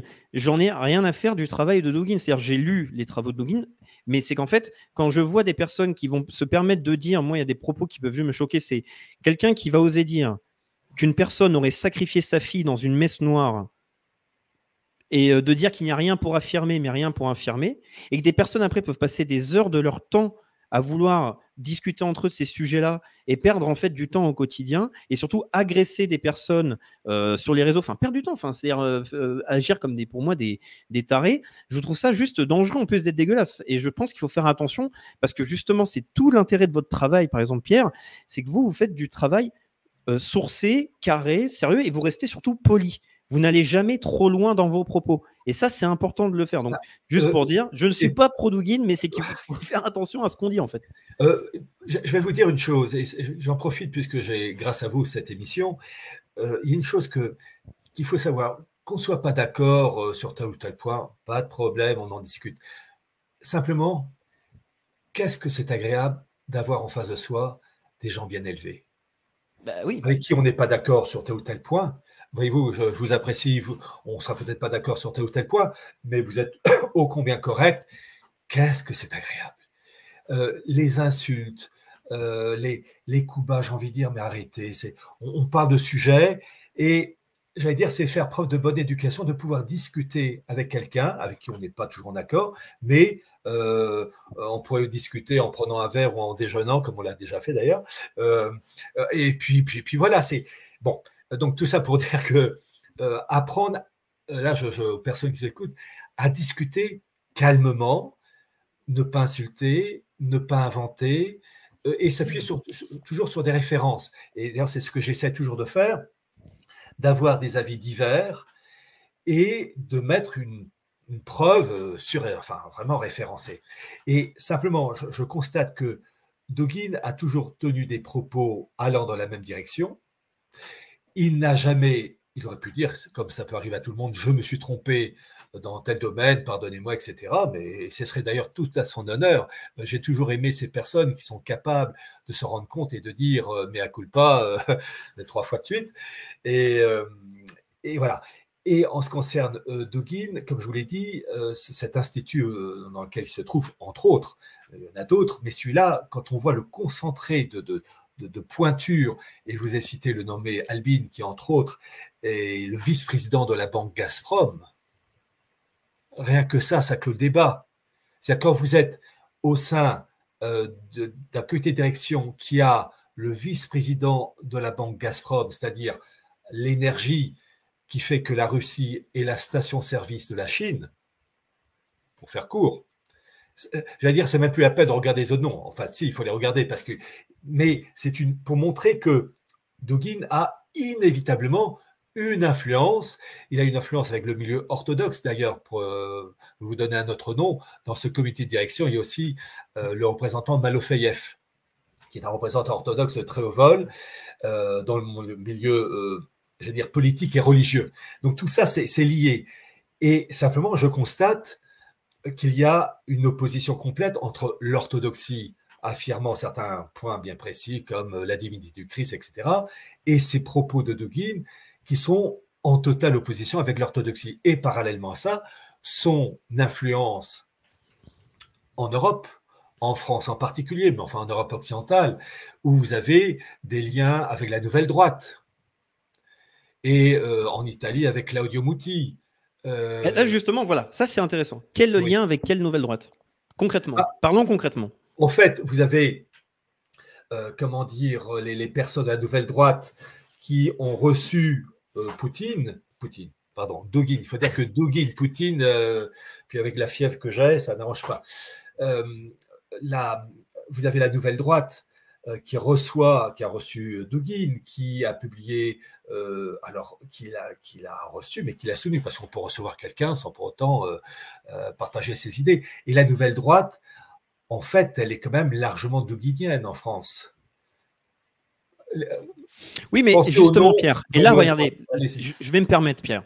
Parce que là, justement, à mon avis, alors je déconseille au modérateur de, euh, de, de, bannir Teddy Boy RSA. Donc, bon, il va être euh, mis en silencieux euh, pendant un moment. En tout cas, je salue Teddy Boy, qui fait du très bon travail et qui est sur ce chat. Bref. Donc là, c'est quelque chose d'important. C'est donc les personnes apparemment en France seraient, enfin, dans, au sein de la nouvelle droite, pourraient être pro-Dugin. D'accord. Mais ils, ils, vont suivre le travail de Dugin sur quoi? Est-ce que c'est sur le fameux lien que là font les critiques de Dugin pour dire qu'il y a un lien avec Aleister Crowley, qu'il y a du satanisme, qu'il y a de la cabale, ou c'est simplement parce que ce sont des personnes qui ont une vision de l'Eurasie et souhaitent arrêter avec justement la domination occidentale, qui en fait essaie de détruire les peuples avec un réseau économique et en même temps différentes déviances idéologiques comme le progressisme, enfin différentes formes de la modernité, et souhaitent simplement récupérer une forme de souveraineté et arrêter de se faire écraser par euh, ce qui représente un certain projet euh, occidentale euh, pour pas me faire accuser par Darmanin euh, si vous voyez ce que je veux dire quoi. Est-ce que c'est pas simplement en fait une vision de l'Eurasie et d'avoir en fait une vision géopolitique, de dire en fait on a d'autres acteurs, il faut penser comme des Français de manière avec une vision de la souveraineté. Bon, on n'a aucun pouvoir, c'est sûr, mais c'est que comme ça qu'on peut avoir une certaine vision et être ennemi de la Russie. Quand on voit ce que fait par exemple l'OTAN, euh, que ce soit dans les pays de l'OTAN ou même au, sein de l'Ukraine, la population ukrainienne, quand on voit que maintenant la moyenne d'âge des soldats, c'est plus de 45 ans ou 50 ans, je crois, c'est en mmh fait, c'est du massacre. Donc, est-ce qu'en fait, être de ce côté-là, c'est forcément mauvais, en fait? Est-ce que ça veut dire qu'on est douguiniste et que c'est le douguiniste euh, sataniste? Moi, j'ai l'impression que, selon certaines personnes qui vous entourent, Et c'est ça le problème. C'est qu'en fait, ils en viennent à, arriver à cette conclusion-là, parce qu'ils disent oui, mais vous ne dites pas en gros que Dugin est un sataniste ou vous ne rejetez pas les Crowley. Mais je pense, cher Pierre, que en fait, la majorité des personnes qui déjà ne connaissent pas forcément Dugin, et quand en plus ils découvrent Dugin, ils s'en foutent de l'ésotérisme. Ils vont s'intéresser à la vision qui a peut-être été diffusée par, à la limite, peut-être euh, Alain Soral euh, ou euh, Égalité et Réconciliation ou aux questions bouchées, c'est-à-dire en fait la quatrième théorie politique. Donc c'est une vision de l'Eurasie en fait. Donc qu'est-ce que vous pensez de ça? Enfin, Qu'est-ce que vous pouvez répondre à ça par exemple? D'abord, vous avez fait une remarque en parlant des jeunes qui ne s'intéressent pas à Dugin, ils s'en foutent. Mais on en reprend toujours la, la même formule. On ne doit pas dire moi, je. On doit toujours penser comment l'autre, enfin, on doit, on doit s'intéresser à la pensée de l'autre. Et en fonction de la pensée, on dit j'y adhère ou je n'y adhère pas ou en partie. C'est-à-dire qu'on doit toujours arrêter de, de, penser moi je m'en moque, moi je suis contre, moi je suis pour. Non, c'est en face. La nouvelle droite, on va faire court, elle est antichrétienne. Ah, et voilà, parce que je voulais vous amener sur ça. Parce que ça, bah, les gens semblent ne pas comprendre. Pourquoi elle est anti-chrétienne Et pourquoi elle est anti-chrétienne là, là, il y a un débat intéressant. Ah bah, c'est pas un débat, c'est un constat. Euh, je dis que vous êtes brun, on va faire un débat là-dessus. Vous êtes barbu, hmm. on va faire un débat. Bah, c'est un, un fait. Après, on peut dire ils ont raison. Après, on peut dire ils ont tort. Mais d'un point de vue factuel, c'est anti-chrétien. Et donc, et dans ces milieux anti-chrétiens, après, vous avez des courants, avec Alain de Benoît, etc., où vous avez des milieux païens, d'autres plutôt ésotériques, euh, d'autres des mélanges. Euh, bon, voilà. Mais le, fond, c'est d'abord anti-chrétien. Et sous-entendu, anti-civilisation française, parce que je vous rappelle une chose, Raphaël, la civilisation française, elle est née avec le baptême de Clovis. Comme la Russie, elle est née avec le baptême de Vladimir en 988. Et tout pays qui s'écarte, j'allais dire, des promesses de son baptême, et d'ailleurs c'est vrai, je ne sais pas si vous êtes baptisé, mais quand on est baptisé, on doit faire de son mieux pour respecter les promesses de son baptême, mais tout pays qui s'écarte des promesses de son baptême, la France, baptême de Clovis, la Russie, le baptême de Vladimir en 988, eh bien ce pays, il est condamné à disparaître. Or, tous ces milieux-là, la nouvelle droite, sont ben, il se moque, enfin, c'est même pas se moquer, enfin, il, rejette en fait ce, ce, euh, bah, ce, qui a fait la civilisation française. Et c'est le drame de, notre pays. Euh, en fait, tant qu'on n'aura pas abattu 1789 et Vatican II, de A à Z, eh bien, euh, on sera condamné. Et là, je vais faire un pas vers vous. D'abord, je vais me permettre un commentaire parce que donc plein de personnes qui posent la question de mais pourquoi on s'arrête sur Dugin Pourquoi on en parle autant étant donné qu'à la base c'est une émission sur Jacob Frank Eh ben, c'est tout simplement parce que on parle euh, là du fait qu'il y a un livre donc excellent encore une fois que je me permets quand même de montrer, c'est le sujet. la politique du chaos. La politique du chaos. La politique du chaos. C'est reprise par certaines personnes. Voilà, et surtout, c'est comment en fait analyser certains réseaux historiques et comment essayer d'analyser, enfin, ou de détecter certains groupes aujourd'hui. Donc c'est pour ça qu'on s'arrête sur ce sujet-là, parce qu'à mon avis, il me semble important et surtout que aussi, ben, Pierre, c'est un sujet que vous traitez en ce moment. Vous avez subi à la fois de la censure et des attaques, et euh, moi je trouve ça bien de pouvoir euh, justement en, discuter euh, de, manière directe. Mais en fait, là, je voyais par exemple, euh, excusez-moi, comme c'est un, un, moment un peu direct, je prends certains propos, c'est je vois en fait des, personnes qui se posent la question pourquoi on parle de Dugin, euh, pourquoi on va se concentrer sur ça, ou même il va y avoir des accusations pour dire oui, mais pourquoi là il s'intéresse pas à l'ésotérisme de Dugin, etc. C'est en fait c'est quelles sont vos priorités? Je vous demande, moi je pose la question aux personnes qui sont dans, dans le chat, etc. Quelles sont vos priorités? Et là, j'entends des propos intéressants de la part de Pierre c'est la partie anti-chrétienne. Là, il peut y avoir en fait quelque chose d'intéressant. C'est vrai, on observe dans une certaine dissidence des personnes qui deviennent pro-russes, qui vont, appeler limite Poutine, euh, ils vont demander à Poutine de venir raser l'Occident parce qu'ils n'en peuvent plus de cet euh, Occident euh, moderne. Mais après, est-ce que ça reste la civilisation occidentale? Est-ce que ça reste de la chrétienté ou du catholicisme, oui ou non? Et ça, c'est une bonne question. Je vais ajouter un élément. en fait, la nouvelle droite est anti-chrétienne. Je vais être plus précis. Elle est anti-incarnation. L'incarnation, c'est ce que j'ai dit tout à l'heure, la fameuse union hypostatique. Euh, vrai Dieu, vrai homme. Bon, avec tout ce qui suit après. Alors, il y a une chose, j'essaie de faire comprendre aux personnes qui écoutent. Évidemment, je suis anti-OTAN, anti-Union européenne. Les États-Unis, ne m'en parlez pas. Enfin, si, mais dans le sens que euh, je vais toujours dire que la grande catastrophe pour la, France, ça a été le fameux traité de Paris de 1763. Où on a perdu la Nouvelle-France. Imaginez si on avait pu peupler la Nouvelle-France, on aurait une Amérique du Nord française euh, de civilisation euh, catholique romaine et voilà, le, le, monde est entièrement voilà. Autant vous dire que bon, le monde occidental est pourri. Mais voyez-vous, je suis toujours étonné par les propos des personnes qui soit ne lisent pas mes livres ou n'écoutent pas les conférences. Et donc, je vais répéter pour la énième fois un point clé. Vous avez le monde russe avec un Poutine qui est une intelligence, j'ai bien dit Poutine, hein, Vladimir, Poutine, une intelligence supérieure, euh, et les, accusations euh, occidentales où on le traite de tous les noms, euh, c'est d'abord un homme hors norme, Poutine. Bon, première chose. Deuxièmement, l'étude que j'ai faite montre que vous aviez, dans les années, bon, d'abord je rappelle que les années 1990, vous aviez en Russie un chaos généralisé, une économie délabrée, un peuple russe crevant de faim, de faim et euh, des dirigeants euh, russes euh, trahissant, avec les oligarques, trahissant les, intérêts économiques du pays. Et Poutine, arrivé d'abord comme ministre, Premier ministre en 1999, a peu à peu ensuite à la tête du pouvoir à partir de, 2000, rétablit l'autorité de l'État en faisant un tri parmi les oligarques entre ceux qui devaient travailler pour les intérêts russes, ça il les a gardés, et les oligarques qui ne voulaient pas travailler pour les intérêts russes, mais qui travaillaient pour les Occidentaux, Berezovsky, euh, Kodovorsky et compagnie. Et le constat que j'ai fait, c'est un constat, avec les documents que j'avais sous la main, des documents émanant d'autorités officielles, j'ai relevé un nombre particulièrement important euh, d'oligarques d'origine juive. Je n'ai pas dit que tous les oligarques étaient juifs, j'ai simplement constaté euh, une forte présence. Et entre autres, je me suis appuyé sur un document émanant des autorités économiques israéliennes qui disait qu'en 1999, au moment de l'arrivée de Poutine, l'économie russe était, alors il donne un chiffre large, tenue par le monde juif entre 50 et 80% Donc l'économie russe tenue entre 50 et 80% par euh, des juifs du monde russe. Donc pour montrer que ça pesait lourd. Et Poutine va faire le choix des Lubavitch face à d'autres factions juives qu'il rejette. Et les Lubavitch pèsent très lourd. Pour vous expliquer, les Lubavitch, ce sont c'est une faction du monde juif qui est traditionnelle et qui respecte les valeurs classiques de la famille, c'est-à-dire anti-wokisme, anti-LGBT, euh, la famille traditionnelle. Et évidemment, à titre personnel, j'y adhère. Comparé à l'Occident, où, enfin bon, c'est dégénéré à mort.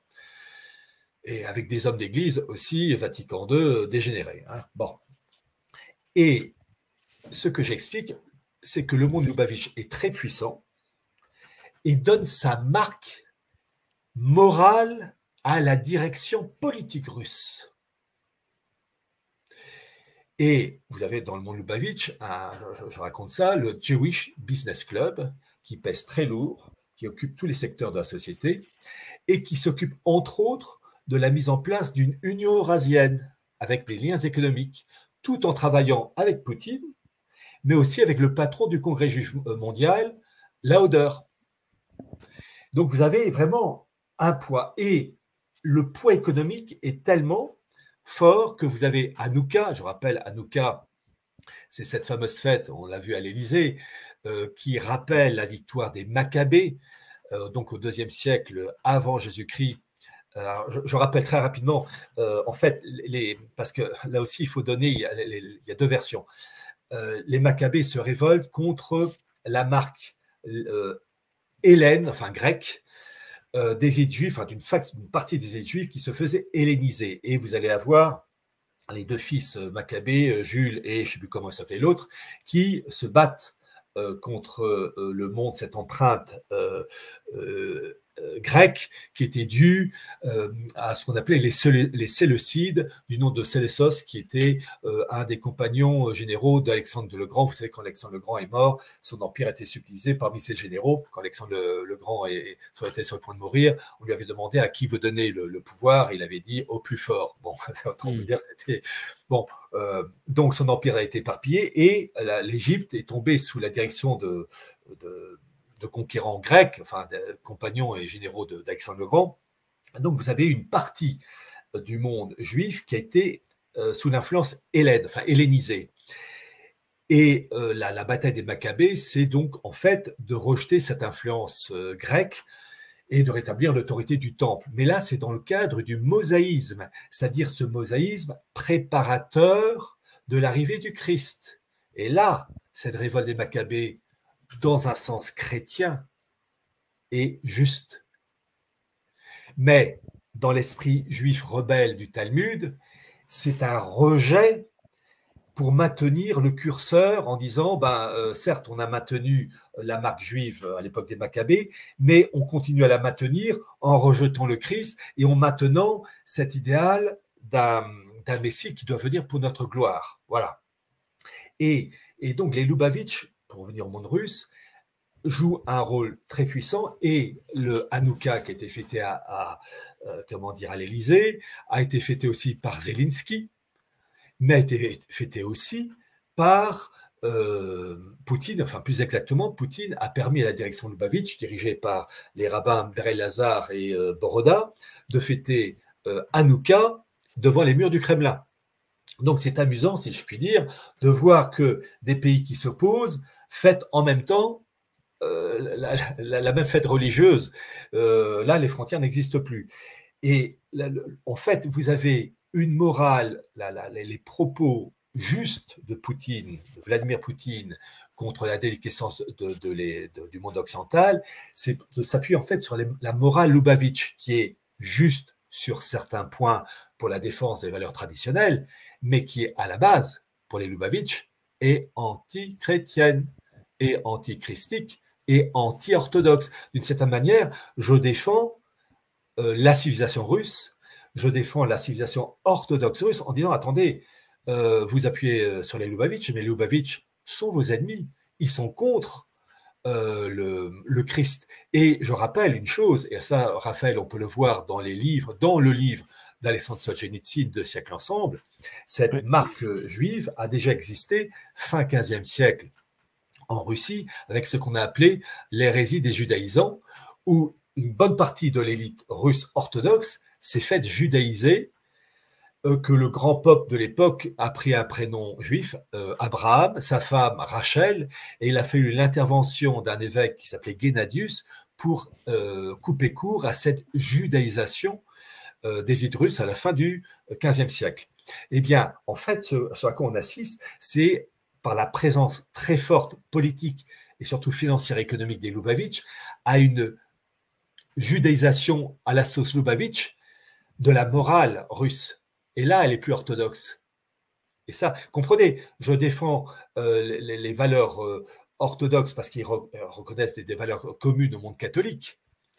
Mais là où je dis aux Russes, attendez, vous les orthodoxes, vous faites peu à peu happer par ce milieu Lubavitch qui vues qui, sur le coup, sont justes, défendent euh, des, valeurs classiques, familiales, mais le fond est antichrétien. Et pour les Lubavitch, le Christ est châtié dans des excréments bouillants. Et là, je dis pour le monde russe, si vous voulez vraiment défendre euh, vos valeurs, eh bien, changez, euh, tournez Kazakh. Je rajoute une chose, Raphaël, et après je m'arrête temporairement. J'ai dans mon livre Les Permanences expliqué qu'il n'y a pas eu de Nuremberg du monde orthodoxe, qui a été euh, la religion, enfin la hiérarchie orthodoxe a souffert mille mots durant le régime communiste, et les élites orthodoxes ont pactisé avec le régime communiste.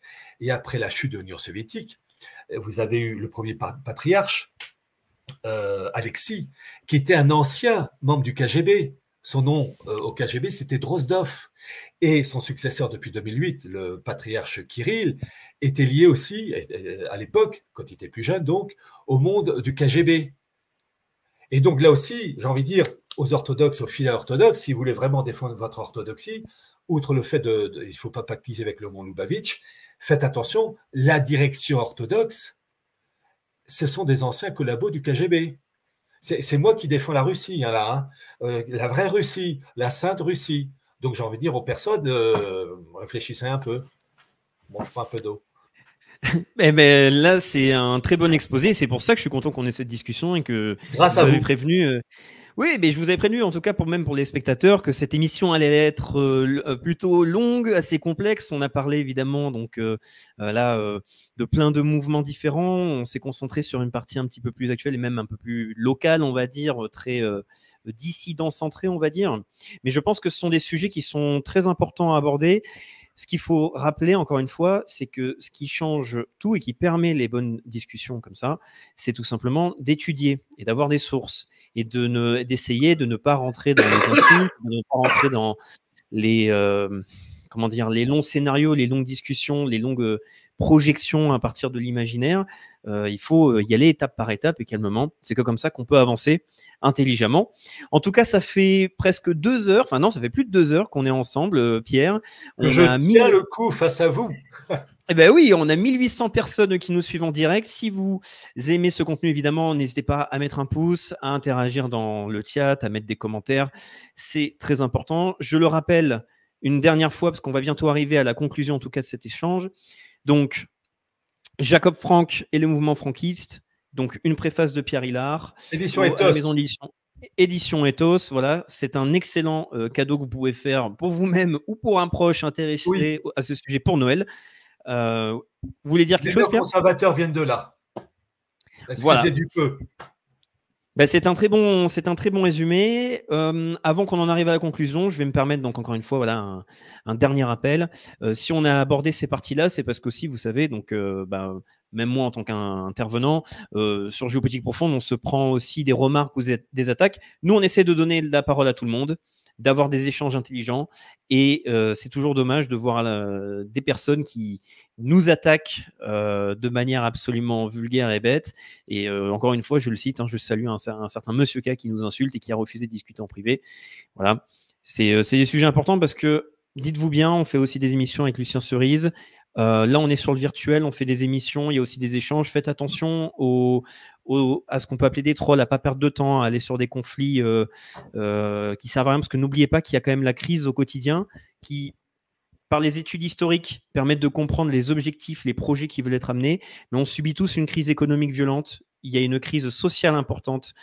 Euh, il y a malheureusement une escalade de, des tensions et de potentiels conflits, que ce soit armés, civils.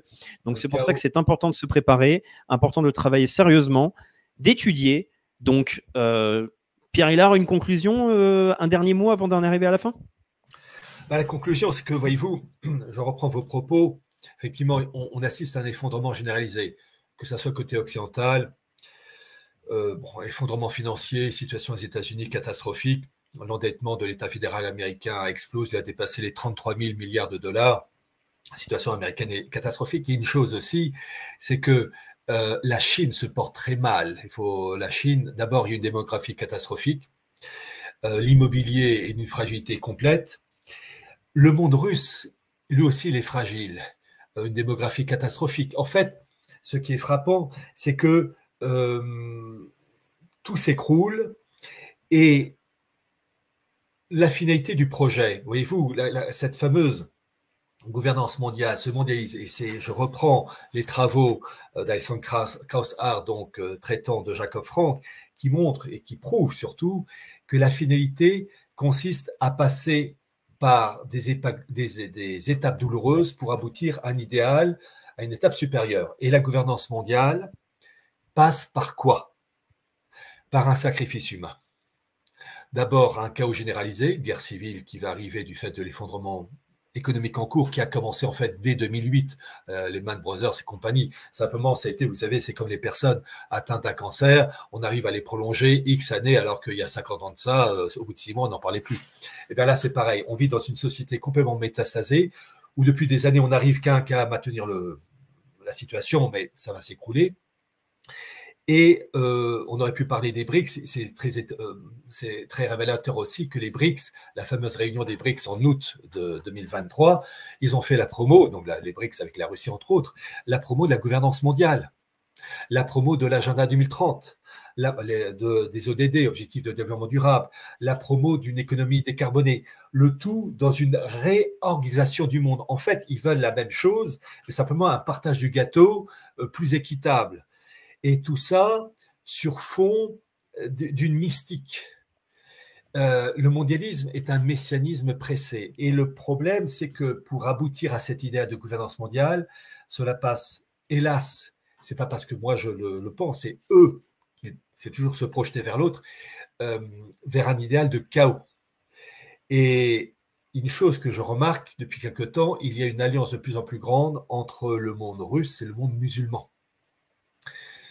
Et à mon avis, il y aura des conséquences pour l'Occident, d'autant plus que l'affaire ukrainienne a vidé les arsenaux, euh, les réserves militaires en matériel du monde occidental. L'Occident est à poil. Et, et on peut se dire que ça peut donner des envies à la partie de l'Est de peut-être faire une petite balade prolongée au-delà de l'Ukraine. C'est une supposition, mais vu que l'Occident est pourri, vu l'Occident euh, est de plus en plus désarmé et qu'il y a une population aussi euh, efféminée qui n'a il faut voir donc euh, un truc tout bête regardez dans quel état la République a mis la France. Regardez dans quel état le système politique a mis l'Allemagne le peuple allemand. Ce peuple allemand qui a donné de, de si grands hommes regardez l'Italie c'est ça qui est frappant, il y a une dégénérescence complète. Eh bien, il y a des moments, je me dis que la partie orientale risque peut-être de profiter de cet effondrement pour euh, nous bouffer. Et ma foi, ça a été peut-être annoncé, ça a même été sûrement annoncé par certains. Voilà. Eh ben, c'est une excellente conclusion. Euh, en tout cas, ça vous a permis, je pense, Pierre, de, de vous exprimer euh, librement et avec, bah, je, fais de mon mieux. Je pense qu'encore une fois, même si, euh, comme je l'ai dit, j'ai certains, je peux avoir certains points de, désaccord. Le but n'est pas, en tout cas moi, de donner mon avis, euh, c'est d'essayer de, de, faire en sorte que vous puissiez développer sur des points, des critiques que vous pouvez recevoir à distance, ou en tout cas des remarques pour euh, savoir ce que vous pouvez répondre, ce, qu'il est possible pardon, de répondre. Mmh. et c'est que comme ça qu'on peut avancer. Donc voilà, je vais le rappeler une dernière fois. Jacob Franck et le mouvement franquiste aux éditions Ethos. Vous, euh, c'est un excellent cadeau de Noël que vous pouvez faire. Je tiens à le rappeler aussi, euh, on a la revue mensuelle euh, de géopolitique profonde, on a le numéro de décembre. Il y a une offre de Noël, vous avez tout en description. Pour une revue achetée, vous allez avoir une revue offerte. Vous avez non pas uniquement accès à des informations, que ce soit en géostratégie, en macroéconomie, vous avez aussi accès à des stratégies, des, des informations plus concrètes et pratiques pour vous préparer en fait aux difficultés qui touchent tout le monde et sur le, euh, la première chose qui vous touche, et vous le savez très bien, l'impératif économique. Donc voilà, jetez un œil, c'est très important euh, pour vous. Pierre, je vous écoute. Permettez-moi d'ajouter un petit élément dans cette idée de sacrifice humain, parce que c'est ça la finalité du projet. Ce qui On finira sur une bonne note quand même au bout d'un moment. Ce qui se passe au Proche-Orient, il ne faut pas oublier non plus euh, l'Iran. Il y a une chose, et ça je l'ai écrit la, création de l'État d'Israël en 1948, je l'ai toujours considéré comme un placement sacrificiel à long terme. Certes, les musulmans et les Palestiniens en particulier en ramassent plein la tronche avec ce qui se passe à Gaza, mais ne pas oublier aussi que dans cet idéal mondialiste, il y a certains qui seraient prêts à sacrifier l'État d'Israël, voire même une partie de la population israélienne, comme une offrande sacrificielle euh, en tant qu'offrande et oblation la, plus pure. C'est ça qui est terrible, c'est que tout est créé pour favoriser un chaos entre le monde juif, Israël, et le monde musulman, où finalement ces peuples seront les victimes dans les, tous les cas de figure du mondialisme euh, vorace euh, propre à Bâle, parce que c'est ça, c'est l'esprit de Bâle qui est derrière. L'avortement, c'est l'esprit de Bâle. Le sacrifice humain, c'est l'esprit de Bâle. Et, et c'est pourquoi je suis guère optimiste, parce que la finalité, la logique du système mondialiste passe par le sacrifice humain. Et à moins des miracles, une prise de conscience subite, et ça, évidemment, je ne peux que le souhaiter, on file droit vers ce basculement. Après, à quelle vitesse, ça, je ne pourrais pas vous le dire, mais on y va. Eh ben, on va quand même mettre une meilleure note. Hein, c'est restons optimistes. La vie continuera avec ou sans nous. Oui. Euh, il faut évidemment se préparer. Et, l'optimisme, c'est euh, Noël, la, la naissance du Christ, et ça, et ça, je demande à tous ceux qui défendent des valeurs, enfin des valeurs kabbalistiques ésotériques, la naissance du Christ, l'enfant Jésus euh, dans la crèche, ça, c'est l'élément supérieur et rien ne peut le supplanter. Absolument. Euh, c'est quelque chose que je comptais dire demain parce qu'il y aura un dernier live euh, avant évidemment les fêtes de Noël. Un, dernier direct, excusez-moi, oui, pas d'anglicisme. Donc il y aura un entretien en direct demain avant le fait de fêter Noël. Mais je le dis d'avance, donc pour ceux qui regardent cet entretien, on parle aussi de civilisation, d'importance communautaire, civilisationnelle il y a la messe de minuit pour le soir de Noël. Je pense que c'est important. N'hésitez pas à y aller. C'est important de rejoindre cette, euh, de, jeter un œil à cette communauté-là. Encore une fois, ça a été tout le fil conducteur de, ces émissions et même des émissions qu'on a pu faire par le passé, Pierre. Hein. C'est-à-dire, encore une fois, si on parle de théologie, même si vous pouvez avoir des réflexes euh, athées ou agnostiques ou même vous dire, mais ça m'intéresse pas trop. En fait, en politique, ça dépend pas forcément de vous. Il y a des choses qui s'appliquent, donc faut faut euh, ben, malheureusement les intégrer dans, dans, les analyses. On a pu le voir avec le conflit euh, israélo-palestinien là aujourd'hui.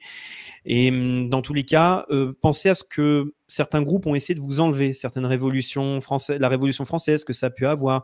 Euh, pensez à ce qu'on a pu vous enlever et essayez voilà de faire un tour autour de vous, peut-être lors de la messe de minuit pour voir ce qui a fait en tout cas la, civilisation française et l'histoire de France. Peut-être que ça peut vous faire du bien. En tout cas, c'est ce que je vais souhaiter à un maximum d'entre vous.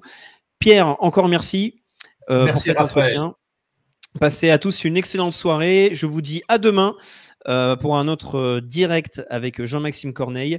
Mais en tout cas, euh, Pierre, d'ici là, joyeux Noël et à la prochaine. à vous et à ceux qui nous écoutent. Et ne jamais oublier que la civilisation française commence au baptême de Clovis. Voilà, allez, bonne soirée à tous. Bonsoir.